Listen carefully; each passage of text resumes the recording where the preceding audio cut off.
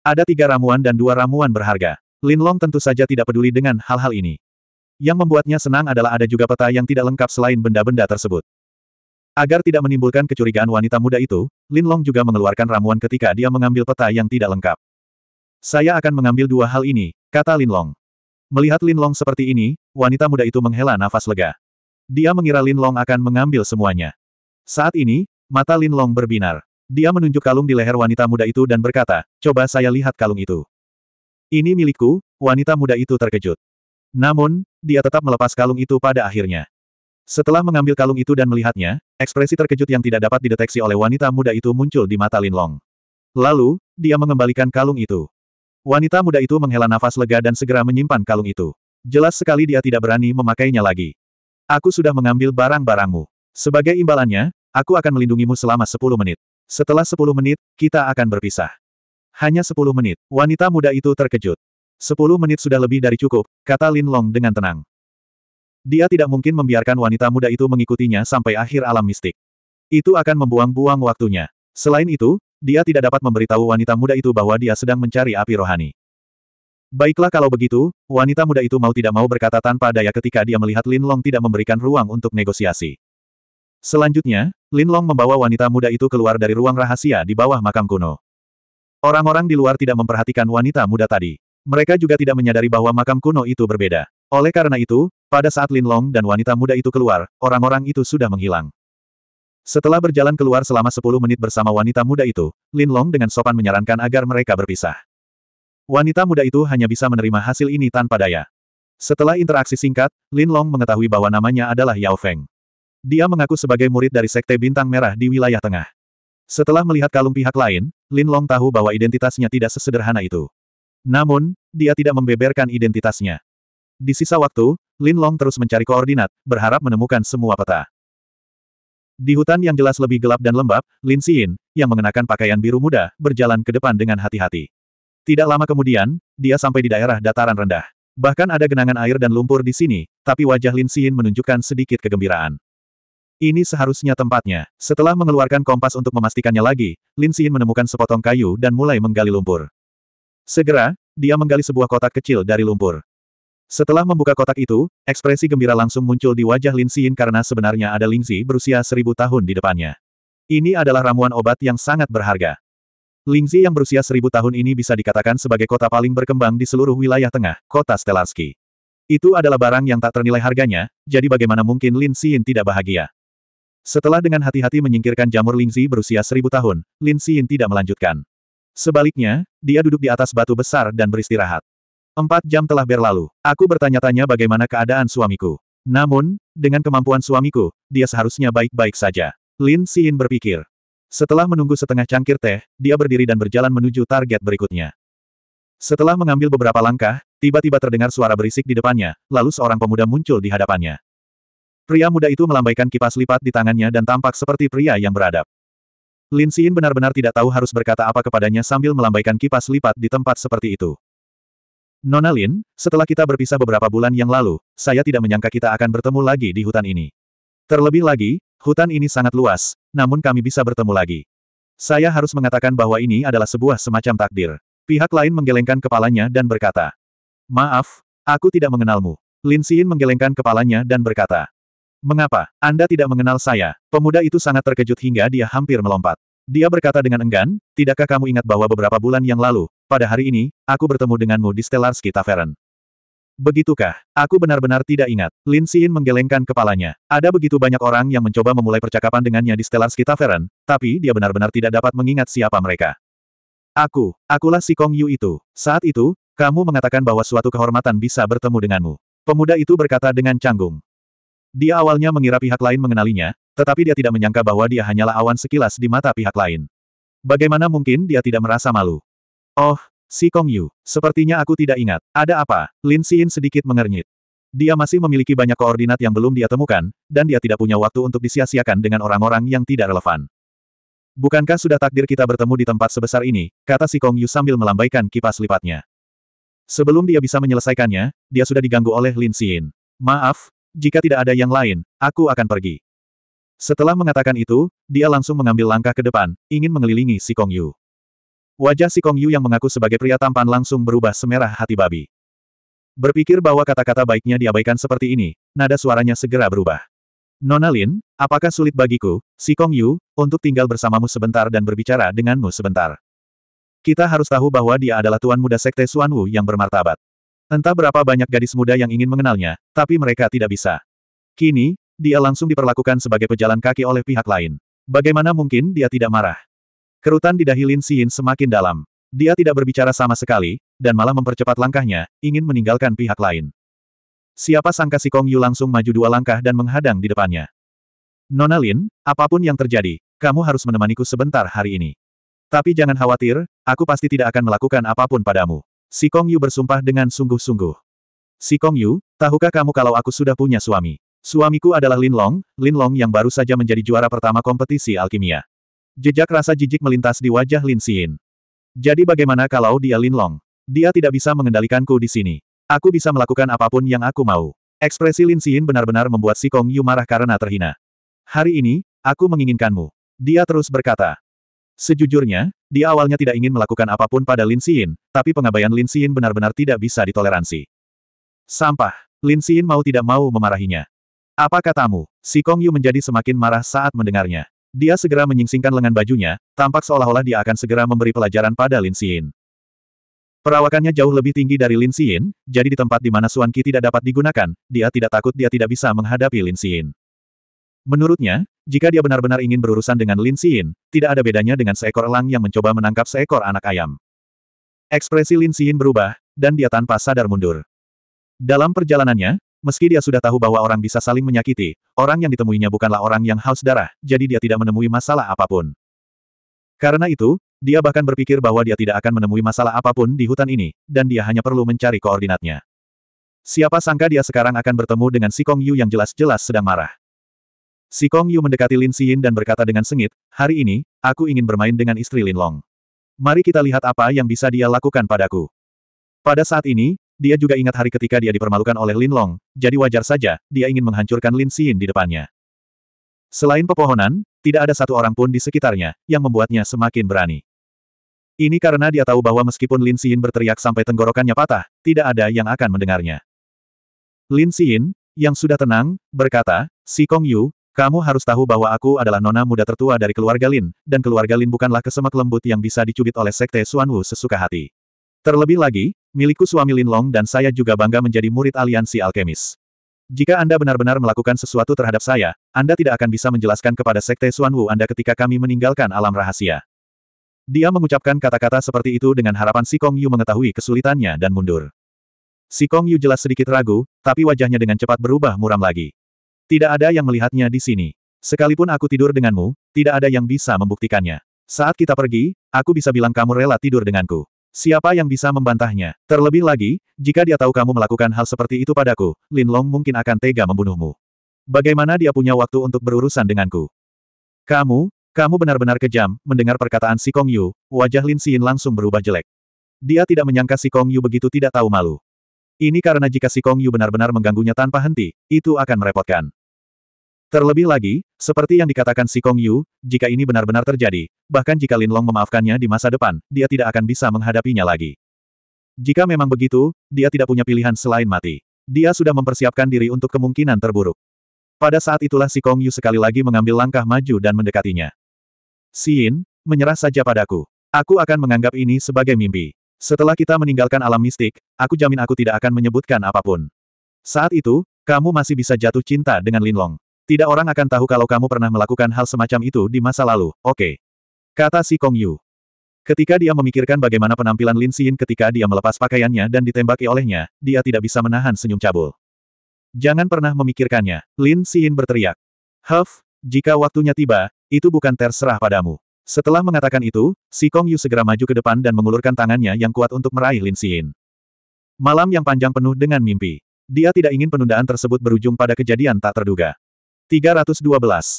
Si Kong Yu mengira dia bisa dengan mudah menangkapnya. Dia tidak menyangka bahwa pada saat ini, Lin Xin yang tampak lembut dan lemah tiba-tiba menendang dagunya. Kecepatannya sangat cepat sehingga dia tidak punya waktu untuk menghindar. Rahang bawahnya ditendang oleh pihak lain. Dalam sekejap, rasa sakit yang luar biasa hampir membuatnya tidak bisa bernapas. Dia menggelengkan kepalanya dengan keras dan merasa sedikit lebih baik. Namun saat menyentuh dagunya, ia langsung terlonjak karena tangannya berlumuran darah. Jelas sekali bahwa dagunya telah langsung ditendang olehnya. Lin Xin, aku pasti akan membuatmu berharap kau mati, kata si Kong Yu dengan marah.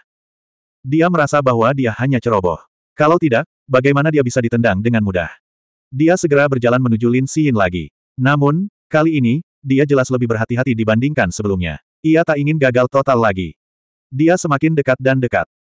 Saat ini, si Kong Yu melihat peluang yang tepat dan segera melayangkan tinjunya ke arah kepalanya. Bahkan jika pukulan ini merusak wajah cantik pihak lain, dia tidak akan ragu. Tentu saja, tidak ada ki dalam pukulan ini. Cara dia menghancurkannya tidak berbeda dengan saat dia bertarung dengan orang lain ketika dia masih muda. Pukulan ini pasti akan menghajar wanita jalan kecil ini hingga jatuh. Si Kong Yu berpikir dengan bangga setelah mengepalkan tinjunya. Namun, dia salah lagi karena langkah kaki Lin Xin membuat kesalahan dan dengan mudah menghindari pukulannya. Saat dia menghindar, kakinya yang lain ditendang keluar lagi. Karena jaraknya yang dekat, si Kong Yu tidak dapat menghindarinya meskipun dia waspada. Dengan demikian, rahang bawahnya kembali mendapat tendangan keras dari lawannya. Kali ini, kepalanya berdengung karena tendangan tersebut. Dia merasakan gelombang rasa sakit datang dari dagunya. Saat dia menyentuhnya lagi, darah di tangannya jelas lebih kental. Sialan, dia sangat marah dan langsung menerkamnya, ingin menggunakan tubuhnya untuk mengendalikannya secara langsung. Siapa sangka begitu dia bergerak, kaki panjang indah pihak lain membentuk lengkungan indah di udara, lalu menendang wajahnya lagi. Tendangannya langsung membuat kepalanya pusing, bahkan ia tidak bisa melihat dengan jelas apa yang ada di hadapannya. Menyadari bahwa dia tidak bisa mengalahkan lawannya, dia segera mundur dan berseru, kamu. Gerak kaki macam apa itu? Dia benar-benar tidak mengerti. Pihak lain jelas tidak memiliki energi yang dalam, jadi mengapa dia bisa menendangnya sampai dia tidak dapat menemukan arahnya. Itu adalah teknik tendangan yang khusus memukul orang jahat, kata Lin Xin. Saat ini, dia benar-benar santai. Sebelumnya, dia takut hal-hal yang diajarkan Lin Long padanya tidak akan berguna. Bagaimana dia bisa tahu kalau si Kong Yu bahkan tidak akan mampu melawan? Aku tidak percaya, kata si Kong Yu. Tidak peduli apa, dia harus menyelesaikan masalah ini. Kalau tidak, dia akan sangat marah. Kamu tidak percaya padaku. Coba lagi. Begitu suara Lin Xin memudar, si Kong Yu merasakan hembusan angin di depannya. Kemudian, bayangan hitam dengan cepat meluas di depannya, diikuti dengan tendangan ke pangkal hidungnya. Setelah tendangan ini, dia tidak bisa lagi berdiri kokoh dan langsung terjatuh ke belakang ke tanah. Rasa sakit terbakar yang keluar dari hidungnya membuatnya segera mengulurkan tangannya untuk menyentuhnya. Begitu disentuhnya, ia langsung ingin menangis karena tangannya berlumuran darah. Lin Xin, kamu, kamu sangat kejam, teriaknya.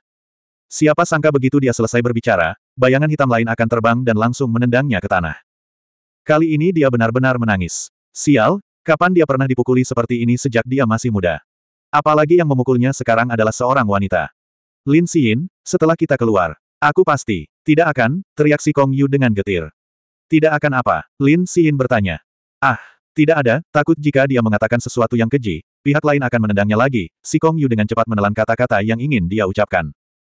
Aku akan melepaskanmu kali ini. Kuharap kamu tidak melakukan hal seperti ini lagi. Kalau tidak, kamu tidak akan seberuntung itu lain kali. Setelah mengatakan itu dengan suara dingin, Lin Xin pergi. Sebelum pergi, dia dengan mudahnya mengambil barang-barang yang jatuh dari tubuh si Kong Yu.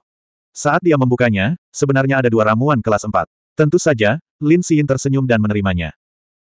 Di sebuah gua yang gelap, Su Yuande menemukan sebuah kotak brokat. Setelah membuka kotak brokat, dia menemukan ada ramuan di dalamnya. Dia segera menggelengkan kepalanya karena kecewa. Mengapa hanya ada hal-hal ini? Dia bergumam, mungkinkah harta yang dibutuhkan sekte tersebut tidak termasuk dalam koordinat ini? Ia memiliki keraguan yang begitu besar di dalam hatinya, namun ia tidak berani memastikannya karena masih banyak koordinat yang menunggunya untuk dicari. Meski dia menggumamkan itu, dia tetap mengambil ramuan di dalam kotak. Setelah mengambilnya, dia menemukan bahwa selembar kertas yang agak tidak lengkap dikeluarkan bersama dengan obat mujarab. Dia telah melihat selembar kertas seperti itu beberapa kali berturut-turut. Mungkinkah ada sesuatu yang mencurigakan di dalamnya? Dengan pemikiran ini, Su Yuande segera memeriksa kertas itu dengan cermat. Mungkinkah ini peta yang tidak lengkap? Ketika pemikiran ini muncul di benaknya, ekspresinya segera berubah. Meskipun dia pernah menemukan selembar kertas seperti itu di beberapa tempat sebelumnya, dia tidak memperhatikannya saat itu dan menganggap itu bukan sesuatu yang penting, jadi dia membuangnya. Sekarang dia memikirkannya, dia pasti melewatkan sesuatu yang penting. Dipenuhi penyesalan, dia buru-buru keluar gua dan berlari menuju tempat sebelumnya. Di bawah makam kuno, dia memperoleh peta tidak lengkap yang belum pernah dia peroleh sebelumnya. Kemudian, dia terus berlari menuju tempat sebelumnya. Namun, Ketika dia sampai di tempat itu, di mana terdapat paviliun bobrok, ekspresinya langsung menjadi sangat jelek. Ini karena kotak brokat yang awalnya dia tutupi di tanah telah dibuka oleh seseorang, dan peta yang tidak lengkap juga telah hilang tanpa jejak. Siapa itu? Siapa yang mengambil peta saya yang tidak lengkap? Su Yuande berpikir keras dalam hatinya. Pada saat itulah sebuah suara datang dari jauh. Dia mengangkat kepalanya untuk melihat dan melihat sebenarnya ada empat orang berjalan ke arahnya. Eh, bukankah itu De? Setelah salah satu dari mereka mengucapkan kata-kata seperti itu, mata tiga lainnya langsung berbinar. De ini adalah sepotong daging gemuk, daging gemuk yang bisa menyelesaikan seratus pertanyaan. Pergilah, semuanya cepat pergi dan kelilingi dia. Dengan cara ini, kita tidak perlu khawatir tidak memiliki harta karun di masa depan. Kemudian, orang-orang ini segera bergegas mendekat dan mengepung Su Yuande di tengah. Beberapa potong sampah. Jika kamu tidak ingin mati, belum terlambat untuk pergi sekarang. Kalau tidak, Su Yuande mendengus. Dia tahu bahwa orang-orang ini adalah alkemis kelas 2 yang biasanya tidak dia pedulikan. Haha, apa maksudmu tidak mau mati? Saudaraku, kamu sangat pandai bercanda. Kami berempat, dan kamu sendirian. Apakah kamu pikir kamu bisa mengalahkan kami? Benar, kamu tidak bisa menggunakan energi mistis di sini. Bahkan jika kamu memiliki tiga kepala dan enam lengan, kamu bukanlah tandingan kami. Jika kamu tahu apa yang baik untukmu, serahkan semua yang kamu punya. Dengan begitu, kami akan membiarkanmu mati utuh. Selain itu, Mungkin kami akan lebih lembut kepada kekasihmu saat kami bertemu dengannya karena kamu tahu apa yang baik untukmu. Hahaha. Orang-orang ini adalah Yeming dan yang lainnya dari sebelumnya. Meskipun mereka telah merampok banyak barang selama perjalanan, itu terlalu sedikit bagi mereka. Sekarang setelah mereka melihat domba gemuk seperti Su Yuande, mereka tentu saja gembira. Kamu mendekati kematian. Ekspresi Su Yuande berubah menjadi lebih buruk ketika dia mendengar orang-orang ini berbicara tentang Qin Xiaoyu. Begitu dia selesai berbicara, dia mengangkat tangannya, dan sinar dingin langsung menembus orang di depan. Itu belati. Hati-hati. Yeming dan yang lainnya segera menghindar ke belakang. Tidak hanya energi mistis yang dilarang di peta ini, tetapi bahkan benda spasial seperti cincin spasial pun dilarang. Sedangkan senjata biasanya disimpan di barang tata ruang. Oleh karena itu, Yeming dan yang lainnya tidak menyangka Su Yuande memiliki senjata. Orang di depan sedikit lebih lambat, jadi Su Yuande langsung menusuk tangannya dengan belati. Darah langsung muncrat, dan dia menjerit kesakitan. Pada saat yang sama, Yeming dan tiga lainnya mengepung Su Yuande lagi. Mereka melambaikan tongkat kayu di tangan mereka dan memukul Su Yuande. Bunuh dia. Mereka berteriak sambil menghancurkan tongkat kayu itu. Meskipun Su Yuande memiliki belati, mereka tidak berpikir bahwa mereka tidak dapat mengalahkannya karena mereka memiliki keunggulan dalam jumlah. Namun mereka segera menyadari bahwa mereka salah, karena meskipun dia tidak memiliki energi yang dalam, teknik gerakan Su Yuande masih sangat lincah. Dia dengan mudah menghindari serangan mereka berdua, dan dengan tebasan belati lainnya, dia langsung menusuk salah satu dari mereka di perut. Orang itu langsung jatuh ke tanah. Tanpa perlindungan energi mistik, mereka terlalu lemah. Orang lain, yaitu Yeming, memukul keras tubuh Su Yuande dengan tongkat kayunya. Dia berpikir bahwa meskipun tongkat itu tidak dapat mengalahkannya, tongkat itu dapat melukainya dengan parah. Dia tidak pernah berpikir bahwa Yeming tidak akan bereaksi sama sekali setelah tongkat itu mengenainya. Sebaliknya, saat dia dalam keadaan linglung, pihak lain langsung berbalik dan menusukkan belati ke pergelangan tangannya. Dalam sekejap mata, tiga orang di sisinya terluka. Yeming dan yang lainnya tidak berpikir untuk membunuh Su Yuande, yang merupakan sepotong daging gemuk. Mereka berbalik dan langsung lari. Masih mencoba lari, ejekan Su Yuande datang dari belakang ketika mereka berbalik untuk berlari. Mengapa kami tidak bisa lari jika kamu tidak mengejar kami? Saat mereka merasa aneh, mereka langsung merasakan ada yang tidak beres karena tiba-tiba mereka merasa badannya lemas.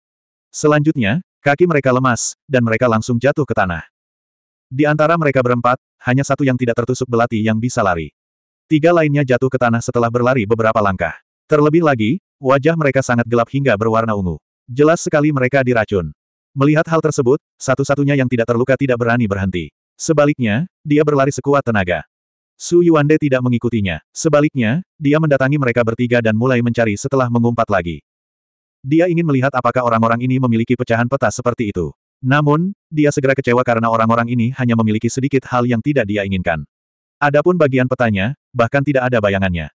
Setelah itu, dia meletakkan belatinya dan berjalan ke tempat berikutnya. Sebelum datang ke kota Tianxing, mereka sudah melakukan persiapan yang cukup. Ia tidak menyangka belati itu benar-benar bisa dimanfaatkan. Adapun teknik gerakan yang dia gunakan sebelumnya, itu adalah teknik gerakan biasa yang diketahui semua murid sekte pemilah Yin. Awalnya semacam warisan adat di sekte tersebut. Dia tidak menyangka akan dimanfaatkan. Dengan kemampuan seperti itu dan token seribu Cloud Rune, apakah dia tidak perlu khawatir tidak bisa mendapatkan harta karun sekte tersebut? 313. Seiring berjalannya waktu, hampir semua orang di peta tahu bahwa orang bisa saling menyakiti.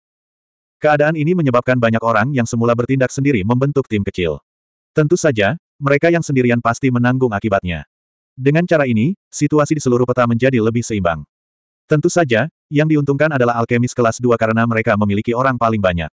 Tidak diketahui berapa kali lebih banyak orang di sana dibandingkan alkemis kelas 2 ke atas. Di antara alkemis kelas 2 ini, mereka yang kuat dan memiliki kemampuan bertarung, atau mereka yang memiliki kemampuan untuk berorganisasi, semuanya memperoleh harta yang bahkan tidak dapat mereka impikan. Saat ini, di dalam hutan, si Kong Yu yang wajahnya bengkak seperti kepala babi, sedang berjalan perlahan. Untungnya, matanya tidak terluka, jika tidak, dia bahkan tidak akan bisa berjalan. Meskipun dia telah meminum pil penyembuh, mustahil lukanya bisa sembuh secepat itu. Tiba-tiba, terdengar suara langkah kaki tergesa-gesa di depannya. Segera setelah itu, enam atau tujuh orang mengelilinginya dari segala arah. Si Kong Yu baru saja dipukuli oleh pil penyembuh. Ketika dia melihat begitu banyak orang, tubuhnya secara naluriah menyusut. Eh, siapa orang ini? Seseorang bertanya dengan rasa ingin tahu. Karena kepala si Kong Yu bengkak seperti kepala babi, orang-orang ini tidak dapat mengetahui bahwa dia adalah tuan muda sekte Suan Wu, si Kong Yu. Siapa yang peduli siapa dia, hanya ingin dia menyerahkan semuanya. Tidak hanya sekedar menyerahkan barang, kami ingin mencabutnya dalam keadaan telanjang dan membuatnya lari telanjang di hutan. Dia sudah sengsara. Dia dipukuli sampai ke kepala babi, dan kalian sebenarnya ingin dia telanjang. Jadi bagaimana kalau dia lari telanjang? Lihat cara dia berpakaian. Dia jelas seorang tuan muda kaya yang terbiasa menindas kita. Aku paling suka menindas orang seperti dia. Sekelompok orang mengepung si Kong Yu dan mengejeknya. Mereka hanya memperlakukan si Kong Yu sebagai mangsa di dalam sangkar. Pada saat ini, seorang pria muda dengan bekas luka di wajahnya, yang terlihat cukup bermartabat, menekan tangannya ke bawah, memberi isyarat agar mereka diam. Yang lainnya segera terdiam. Saudaraku, kami tidak ingin mempersulitmu. Selama kamu menyerahkan barang-barang itu padamu dan membawa kami untuk menemukan koordinat yang tersisa, kami akan memperlakukanmu dengan baik. Jika tidak, pada titik ini, pisau wajah pemuda yang terluka segera menjadi gelap. Sekarang, lebih sulit menemukan orang yang sendirian. Barang-barang di tubuh mereka saja tidak lagi cukup untuk memuaskan mereka. Saat semua orang mengira si Kong Yu setidaknya akan melawan, si Kong Yu tiba-tiba berkata, kamu bisa mendapatkan apa pun yang kamu inginkan. Aku bahkan akan memberimu kemuliaan dan kekayaan saat kamu pergi di masa depan. Orang seperti apa kamu? Kamu ingin memberi kami kemuliaan dan kekayaan saat kami keluar. Saya khawatir Anda akan meminta seseorang untuk membunuh kami setelah kami pergi, bukan? Benar, jangan berpikir kita mudah dibodohi. Dengarkan kami dengan patuh. Jangan mainkan trik ini. Mereka bukan anak berusia tiga tahun, jadi bagaimana mereka bisa mempercayai perkataan si Kong Yu? Siapa saya? Saya adalah ketua sekte muda dari sekte Suan Wu, si Kong Yu. Si Kong Yu berkata dengan dingin. Kamu adalah si Kong Yu. Ya, benar. Si Kong Yu mengangguk. Benar, Bos Flowery Blade, dia adalah si Kong Yu. Seseorang dengan hati-hati melihat ke arah si Kong Yu. Setelah memastikan bahwa itu benar-benar si Kong Yu, dia langsung berkata kepada pemuda yang terluka itu. Setelah dikonfirmasi, senyuman muncul di wajah orang-orang ini saat mereka terkejut. Itu karena si Kong Yu adalah seekor domba yang gemuk. Mereka ingat dengan jelas bahwa si Kong Yu telah menyelesaikan total 45 soal di luar. Tak satu pun dari orang-orang yang mereka bantai sebelumnya melakukan hal sebanyak si Kong Yu. Jadi itu adalah master sekte muda si Kong Yu. Pemuda yang terluka itu berkata dengan hormat. Namun, setelah dia selesai berbicara, ekspresinya langsung berubah. Aku sangat menghormatimu di luar, tapi sekarang, kamu harus mendengarkanku. Selama kamu mengeluarkan barang-barang itu dan membawa kami untuk mencari sisanya, kami tidak akan mempersulitmu. Kalau tidak, Huff. Bukankah aku sudah mengatakan bahwa kamu tidak hanya dapat mengambil semuanya, tetapi kamu juga akan dijamin kemuliaan dan kekayaan ketika kamu pergi. Saat dia berbicara, si Kong Yu mengeluarkan sebuah kartu emas dan berkata, ini adalah kartu emas anonim dari ngarai punggung hitam. Jumlah uang di dalamnya sebanding dengan jumlah uang sebuah negara. Melihat kartu emas itu, mata orang-orang di sekitarnya langsung berbinar. Pemuda yang terluka itu bahkan maju selangkah dan ingin mengambil kartu itu dari tangan si Kong Yu. Namun, si Kong Yu menarik tangannya dan berkata, jika kamu menginginkan hal-hal ini, kamu harus menyetujui syaratku. Kondisi apa? Beberapa orang bertanya. Biarkan aku menjadi bosmu. Di dalam, bunuh siapa pun yang aku suruh. Si Kong Yu berkata dengan dingin. Ini. Beberapa orang saling memandang. Pemuda yang terluka itu segera berkata, tidak masalah. Aku tahu kamu ingin mengambil kartu ini dan mendapatkan harta karun itu sebelum membunuhku. Namun, kamu tidak menyangka bahwa aku mempunyai tanda penelusuran rune yang kuat di tubuhku. Begitu kamu membunuhku, kamu pasti akan diburu oleh Suan Wu. Sekte setelah meninggalkan dunia rahasia. Oleh karena itu, lebih baik kita bekerja sama. Si Kong Yu terkekeh. Kata-katanya segera menyebabkan ekspresi pemuda yang terluka itu berubah. Memang benar, dia baru saja mempunyai pemikiran seperti itu. Setelah terdiam lama, dia berkata, Baiklah, kalau begitu kami akan bekerja sama denganmu. Namun, aku tidak setuju membiarkanmu menjadi bos. Aku harus menjadi bos tim ini. Namun, Kami akan membantumu mengalahkan terserah siapa pun yang ingin kamu pukul. Kami tidak akan menarik kembali kata-kata kami. Bagaimana? Baiklah, tidak masalah. Si Kong Yu mengangguk. Setelah memastikan kerjasamanya, si Kong Yu langsung menyerahkan semua harta karunnya dan kartu emasnya untuk menunjukkan ketulusannya. Masyarakat secara alami senang menerima hal-hal ini. Pemuda yang terluka, Hua Dao, menghela nafas dan berkata, Tuan Muda Sikong, saya baru saja menyinggung perasaan Anda. Tolong jangan dimasukkan ke dalam hati. Ini semua karena keadaan. Tidak apa-apa, semua orang sama, kata Sikong Yu. Meski wajahnya terlihat normal, dia memandang rendah orang-orang ini. Jika bukan karena pembatasan di dunia rahasia, orang-orang ini bahkan tidak layak membawa sepatunya. Tuan Muda Sikong, apa yang terjadi dengan wajahmu? Hua Dao bertanya dengan rasa ingin tahu. Saya dikepung dan dipukuli oleh beberapa orang. Kata Sikong Yu. Bagaimana dia bisa berani mengatakan bahwa dia dipukuli oleh wanita seperti Lin Xin? Tuan Muda Sikong, maksud Anda adalah jika kita bertemu orang-orang itu nanti, kita akan pergi dan menghajar mereka. Saya ingin tahu seberapa kuat mereka. Hua Dao bertanya dengan hati-hati. Tidak apa-apa, mereka sangat lemah. Bahkan jika mereka menyerang bersama-sama, mereka tidak akan menjadi tandinganmu. Kata si Kong Yu. Alasan mengapa dia mengatakan ini adalah karena dia tahu bahwa Hua Dao memiliki beberapa keterampilan pelatihan ketahanan. Keterampilan seperti itu bahkan tidak layak disebutkan di depan keterampilan bela diri. Namun, di dunia rahasia ini, dia pada dasarnya adalah seorang ahli. Karena itulah dia rela menyerahkan begitu banyak hal untuk bekerja sama dengan Hua Dao. Alasan mengapa dia bekerja sama dengan Hua Dao adalah untuk memberi pelajaran pada Lin Xin dan Lin Long. Ketika dia mengingat adegan dirinya dipermalukan oleh Lin Xin, kemarahan di hatinya membara. Jika itu masalahnya, maka saya yakin. Bagaimanapun, Hua Dao adalah ahli pelatihan ketahanan. Dia sangat percaya diri. Baiklah, aku akan mengajak kalian mencari sesuatu. Saat dia berbicara, si Kong Yu mengeluarkan kompas dan memimpin mereka menuju koordinat. Si Kong Yu memiliki mata yang bagus. Hua Dao ini memang kuat. Meskipun mereka bertemu dengan dua kelompok orang berturut-turut, mereka berdua dikalahkan dan melarikan diri di bawah pimpinan Hua Dao. Lin Xin, Lin Long, jangan biarkan aku bertemu denganmu. Jika tidak, Anda akan mendapat masalah. Melihat kekuatan Hua Dao, senyuman di wajah si Kong Yu semakin lebar. Di ruang bawah tanah lain, Lin Long memperoleh pecahan peta lainnya. Namun, alisnya sedikit berkerut. Dia telah menemukan 70 koordinat, tetapi pecahan peta yang dia peroleh paling banyak hanya dapat membentuk sepertiga dari peta. Kemungkinan besar dia tidak akan bisa menyelesaikan petanya bahkan jika dia mencari melalui 100 koordinat. Mungkinkah pecahan peta lainnya berada pada koordinat orang lain? Pikiran ini tanpa sadar muncul di benak Linlong. Jika demikian, akan sangat sulit untuk menyelesaikan petanya. Lupakan saja, aku akan melakukannya selangkah demi selangkah. Jika saya benar-benar tidak bisa mengumpulkan semuanya, saya akan memikirkan cara lain. Dengan pemikiran itu, Linlong berjalan keluar dari ruang bawah tanah. Aku sudah lama tidak bertemu Xin. Saya harap tidak terjadi apa-apa padanya. Namun, dengan hal yang aku ajarkan padanya, dia akan baik-baik saja kecuali dia menghadapi lawan yang sangat kuat. Lin Long berpikir sambil berjalan. Awalnya, dia mengajari Lin Xin teknik bertarung biasa untuk masa depan. Dia tidak berharap untuk menggunakannya segera setelah mereka memasuki dunia rahasia. Setelah keluar dari ruang bawah tanah, Lin Long belum berjalan jauh ketika dia mendengar suara memohon seorang wanita. Tolong lepaskan aku. Aku akan memberimu segalanya selama kamu melepaskanku. Saya katakan, Nona, Anda terlalu naif. Anda sangat cantik, bukankah sayang jika kami melepaskan Anda? Bagaimana kalau kamu memuaskan kami, kami tidak akan mengambil apa pun darimu. Benar, kami bahkan bisa menghadiahimu sejumlah harta karun. Selain suara memohon dari sang wanita, ada juga suara-suara mesum dari para pria di sekitarnya.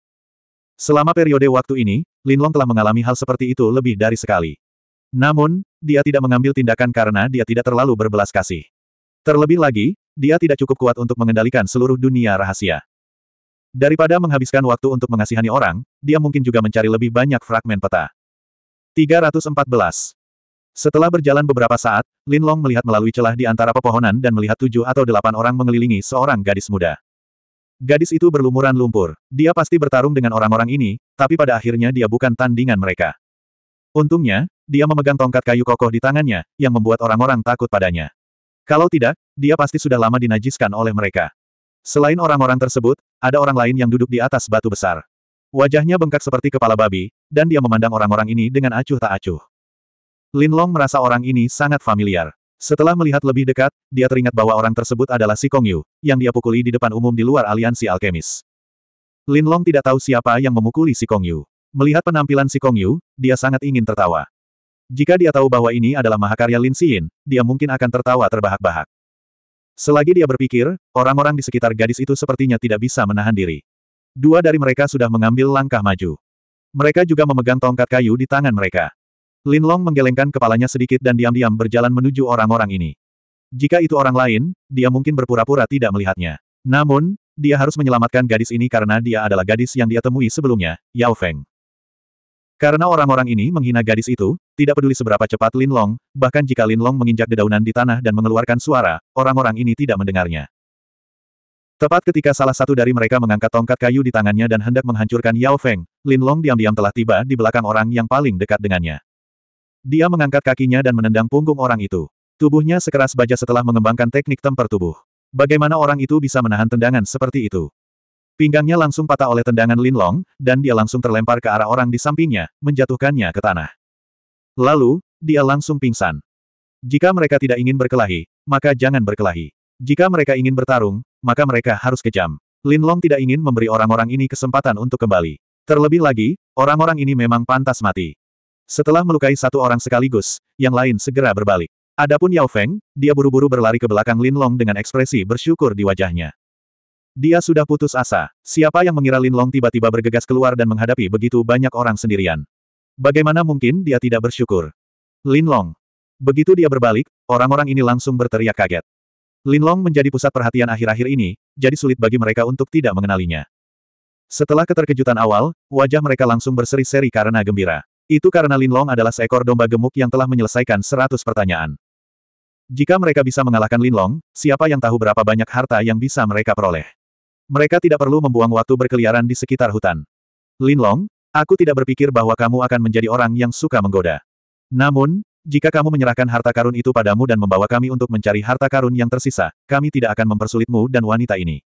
Jika tidak, Anda tidak akan ingin melihat konsekuensinya. Flowery Blade yang terluka berkata dengan sinis. Namun, pada saat ini, si Kong Yu berteriak dengan penuh semangat, pedang bunga, kita tidak bisa melepaskan Lin Long begitu saja. Pukul dia, pukul dia sampai mati. Selama Anda melakukan apa yang saya katakan, Sekte Xuanwu saya pasti akan melindungi Anda saat Anda keluar. Aku, si Kong Yu, tidak akan pernah menarik kembali kata-kataku. Hem, pedang bunga tercengang. Dia tidak menyangka si Kong Yu akan sangat membenci Lin Long. Di luar, dia secara alami tidak bisa melakukan apa pun pada Lin Long. Namun, di dalam hati, dia yakin jika dia mengatakan satu hal, Lin Long tidak akan berani mengatakan hal lain. Dia sangat percaya diri pada kung fu penggagalannya. Oleh karena itu, dia mengangguk dan berkata kepada Si Kong Yu, Tuan Muda Si Kong, jangan khawatir. Kami akan membuat Lin Long patuh sebelum menyerahkannya kepadamu. Itu hebat. Si Kong Yu langsung gembira. Kemudian, dia mengejek Lin Long, Lin Long, sekarang kamu menyesal telah menyinggungku, kan? Namun, tidak ada obat untuk penyesalan di dunia ini. Kamu harus membayar harga atas perbuatanmu. Begitukah? Maka saya berharap Tuan Muda Si Kong tidak mengulangi apa yang Anda lakukan terakhir kali. Lin Long tersenyum. Kamu, Flower Blade, pergi. Hajar dia. Lin Long jelas-jelas menyodok bagian yang sakit. Si Kong Yu tentu saja marah. Tidak masalah. Flowery Blade tersenyum dan segera memberi isyarat agar yang lain mengepung Lin Long. Orang yang paling dekat dengan Lin Long langsung mengayunkan tongkatnya ke arah Lin Long. Lin Long bahkan tidak melihat dan langsung mengangkat tangannya untuk memblokir. Melihat Lin Long tidak mengelak dan malah mengayunkan tongkatnya, wajah orang itu langsung bersinar. Itu karena tongkat di tangannya terbuat dari bahan yang berbeda, tapi sangat keras. Bahkan Flowery Blade tidak akan berani memblokirnya begitu saja. Siapa sangka saat yang lain mengira Lin Long pasti akan berteriak setelah dipukul oleh tongkat, mereka hanya mendengar suara, retak. Batang itu sebenarnya patah menjadi dua bagian. Ini. Orang-orang ini langsung tercengang. Mereka tidak menyangka lengan Lin Long akan sekeras ini bahkan tanpa energi yang besar. Bahkan Flowery Blade, yang memiliki keterampilan melatih ketahanan tubuh, sedikit mengernyit. Mungkinkah Lin Long juga memiliki keterampilan melatih ketahanan tubuh? Pikiran seperti itu tanpa sadar terlintas di benaknya. Sebelum orang yang mengayunkan tongkatnya kembali sadar, Lin Long, yang sudah lama siap, sudah menyerang dengan tangan kirinya. Itu langsung menabrak wajah orang tersebut. Kekuatan dahsyat itu langsung menghantam kepala orang tersebut, menyebabkan suara mendengung terdengar. Pada saat yang sama dia pingsan, seluruh tubuhnya juga terlempar. Sial, bukankah ini terlalu kuat? Melihat pemandangan ini, yang lain langsung ketakutan hingga tidak berani melangkah maju dan berhenti satu persatu. Flowery Blade dengan dingin berkata, apa yang kamu takutkan? Ayo serang bersama. Di tempat tanpa energi yang dalam ini, jumlah kita sangat banyak. Bahkan jika dia memiliki tubuh baja, dia akan tetap dibunuh oleh kita. Begitu suaranya turun, dia memimpin dan mengayunkan tinjunya ke arah Linlong. Sebagai seseorang yang memiliki keterampilan melatih ketahanan tubuh, dia sudah terbiasa menggunakan tubuhnya sendiri sebagai senjata. Demikian pula, dia sangat yakin dengan pukulannya. Melihat Flowery Blade telah bergerak, yang lain menghela nafas lega. Di dunia rahasia ini, setelah mengikuti Flowery Blade begitu lama, mereka dengan sepenuh hati yakin akan kekuatannya. Melihat pukulan Flowery Blade, Linlong tersenyum tipis dan kemudian juga mengayunkan tinjunya, menghadapi serangan Flowery Blade secara langsung. Situasi ini membuat Flowery Blade semakin senang secara diam-diam. Karena dia memiliki keterampilan melatih ketahanan tubuh, bertarung langsung adalah metode favoritnya. Orang-orang di sekitarnya juga mengira Linlong pasti akan terluka setelah pukulan ini. Namun, mereka salah. Sebab setelah kedua pukulan itu tersambung, yang terdengar hanya bunyi, retak, dan lengan bawah Flowery Blade justru terkulai ke bawah disertai bunyi gedebuk. Pada saat yang sama, seruan tragis Flowery Blade terdengar di sekitar. Sial, Linlong ini sebenarnya sangat menakutkan. Dengan satu pukulan, dia langsung mematahkan lengan Flowery Blade, yang memiliki keterampilan melatih ketahanan tubuh. Orang-orang di sekitarnya menghirup udara dingin. Keringat dingin pun langsung membasahi pakaian mereka. Setelah sadar kembali, mereka segera berbalik dan lari. Dengan begitu banyak orang, mereka mungkin bukan tandingan Flowery Blade. Terlebih lagi, Flowery Blade berhasil ditundukkan dalam sekejap mata. Bahkan orang bodoh pun tahu apa yang harus dilakukan. Mereka tidak ingin berakhir seperti Flowery Blade dan dua lainnya dan terluka parah oleh Linlong. Bukankah ini terlalu kuat? Yao Feng juga sangat terkejut. Sebelumnya, dia memiliki keyakinan yang tak terlukiskan pada Linlong, tapi dia tidak berharap dia menjadi sekuat ini. Si Kong Yu, yang sedang menunggu untuk memberi pelajaran pada Linlong, tentu saja juga melihat pemandangan menyedihkan dari Flowery Blade. Setelah tertegun sejenak, dia pun berbalik dan lari. Namun, bagaimana mungkin Lin Long membiarkannya pergi? Bisa dikatakan tidak apa-apa kalau yang lain pergi, tapi si Kong Yu tidak bisa. Dia tidak ingin si Kong Yu diam-diam merencanakan atau membunuhnya setelah meninggalkan dunia rahasia. Tentu saja, dia tidak takut, tetapi jika si Kong Yu ingin berurusan dengan orang-orang di sekitarnya, seperti Lin Xin, maka mustahil untuk melindunginya. Karena itu yang terjadi, dia sebaiknya langsung melenyapkan si Kong Yu di sini dan sekarang untuk mencegah masalah di masa depan. Sebelum mengejar si Kong Yu, Lin Long terlebih dahulu menendang Scarface yang sudah terluka hingga pingsan sebelum mengejar si Kong Yu. Si Kong Yu baru berlari beberapa langkah ketika Lin Long menyusulnya. Dengan tendangan terbang, Lin Long langsung menendangnya ke tanah. Saat melihat niat membunuh di mata Lin Long, si Kong Yu buru-buru memohon, Lin Long, tolong lepaskan aku. Aku, si Kong Yu, pasti akan membalas budimu setelah kita meninggalkan tempat ini. Sudah terlambat. Kesalahanmu adalah memendam kebencian padaku. Aku tidak ingin membiarkan harimau kembali ke gunung. Lin Long mencibir. Sejujurnya, jika si Kong Yu tidak mengatakan kata-kata itu kepada pemuda berwajah bekas luka itu, Lin Long tidak akan melakukan apa pun padanya bahkan jika dia melihatnya. Bagaimana Lin Long bisa tahu kalau alasan si Kong Yu begitu marah bukan hanya karena dia dipermalukan oleh Lin Long, tapi juga karena dia dipermalukan oleh Lin Xin di peta ini. Lin Long, aku adalah ketua sekte muda dari sekte Xuan Wu, jika kamu. Sebelum si Kong Yu selesai berbicara, Lin Long sudah menendangnya, membuatnya terbang dan membenturkannya ke batu besar di sisi berlawanan. Setelah memastikan bahwa si Kong Yu tidak lagi bernapas, Lin Long berbalik. Saat ini, yang lain sudah lari jauh. Lin Long tidak mau repot-repot mengejar mereka. Jika dia melakukannya, dia bisa membunuh mereka semua satu persatu. Namun, orang-orang ini sama sekali tidak menimbulkan ancaman baginya. Mengejar mereka hanya membuang-buang waktu saja. Oleh karena itu, dia tidak melakukan hal tersebut. Namun, dia masih meneriaki orang-orang ini dengan suara keras, saya harap Anda tidak melakukan apa pun pada Lin Xin. Jika tidak, bahkan jika Anda melarikan diri ke ujung bumi, saya akan tetap membunuh Anda semua. Suara kuat itu bergema di sekitarnya, dan orang-orang yang baru saja melarikan diri semuanya mendengarnya. Mereka segera mengingatnya di dalam hati dan bersumpah bahwa mereka pasti akan mengambil jalan memutar jika bertemu Lin Xin di masa depan. Jika calon lelaki saya seperti Lin Long, alangkah hebatnya. Melihat Lin Long yang mendominasi, Yao Feng, yang berdiri di sampingnya, mau tidak mau berpikir dalam hatinya. Pada saat yang sama, dia merasa jantungnya berdetak semakin cepat. Ketika Lin Long berbalik, Yao Feng mengumpulkan keberaniannya dan berkata, Lin Lin Long, bolehkah aku mengikutimu? Aku bisa memberimu semua hartaku. Penolakan Lin Long sebelumnya membuatnya kehilangan kepercayaan diri sama sekali. Maaf, masih banyak hal yang harus aku lakukan, dan aku terbiasa sendirian. Lin Long berkata dengan nada meminta maaf. Kalau begitu lupakan saja, Yao Feng berkata dengan kecewa. Dulu sendirian, jika itu Lin Xin, kamu pasti tidak akan menolak. Yao Feng mengutuk dalam hatinya. Saat ini, dia sangat iri pada Lin Xin. Namun, aku bisa memperkenalkan seseorang kepadamu. Lin Long berkata sambil tersenyum. 315. Itu dia, saat Lin Long berbicara, dia berjalan ke tempat sebelumnya. Kemudian, dia menendang bagian tertentu dari tubuh Hua Dao ke tanah, membangunkannya. Hua Dao membuka matanya dan melihat Lin Long berdiri di depannya. Dia begitu terkejut hingga meski tangannya sakit, dia masih mundur sedikit. Itu dia, alis Yao Feng langsung berkerut. Orang ini baru saja ingin mempermalukannya. Bagaimana dia bisa merasa aman mengikutinya sekarang? Lin Long tahu apa yang dipikirkan Yao Feng, jadi dia tidak melanjutkan berbicara dengannya. Sebaliknya, dia berkata kepada Flower Knife, yang tergeletak di tanah, dengarkan. Lindungi wanita ini sampai dia keluar dari alam mistik. Jika sesuatu terjadi padanya, aku akan membunuhmu bahkan jika aku harus mengejarmu sampai ke alam mistik. Ujung bumi. Meski Linlong tidak membiarkan Yao Feng mengikuti, Yao Feng langsung merasa bersyukur setelah mendengar kata-kata Linlong. Bahkan jika Linlong tidak melakukan itu, auranya saja sudah cukup untuk membuat jantungnya berdetak tanpa henti. Hua Dao terkejut. Dia tidak menyangka Linlong akan mengatakan hal seperti itu. Dari sudut pandangnya, kata-kata Linlong hanyalah sebuah ancaman. Jika sesuatu benar-benar terjadi, dia akan melarikan diri setelah meninggalkan dunia rahasia. Bagaimana dia punya kesempatan untuk mengejarnya? Bagaimana mungkin Linlong tidak melihat apa yang dipikirkan Hua Dao? Dia dengan dingin berkata, kamu mungkin berpikir aku tidak punya kekuatan, kan? Kalau begitu biarkan aku menunjukkannya padamu. Saat dia berbicara, Linlong mengeluarkan belati dari runik spatial ring miliknya. Adegan itu langsung membuat kedua orang di sampingnya tercengang. Hua Dao bahkan lebih tidak percaya lagi. Kamu, bagaimana kamu bisa menggunakan cincin spasial? Bukankah cincin spasial dibatasi oleh runik arai? Linlong tersenyum ringan dan mengabaikannya. Sebagai gantinya, dia melepaskan Raging Flame Beast dari runik spatial ring miliknya. Setelah menerima sinyal Linlong, Raging Flame Beast segera bergegas ke sisi Hua Dao. Keganasan dan kegagahan dari Raging Flame Beast segera menyebabkan Hua Dao berjuang mundur beberapa langkah. Hua Dao berseru dalam hatinya. Fierce Beast ini pasti memiliki kekuatan Martial Lord atau lebih tinggi. Binatang api mengamuk tidak menyerang Hua Dao. Sebaliknya, ia mengendus tubuh Hua Dao, lalu dimasukkan kembali ke dalam cincin spasial rahasia oleh Lin Long. Kamu telah melihat kekuatan Fierce Beast ini. Jika kamu berani melakukan trik apa pun, kamu tidak akan bisa lolos dari kejarannya setelah meninggalkan dunia rahasia.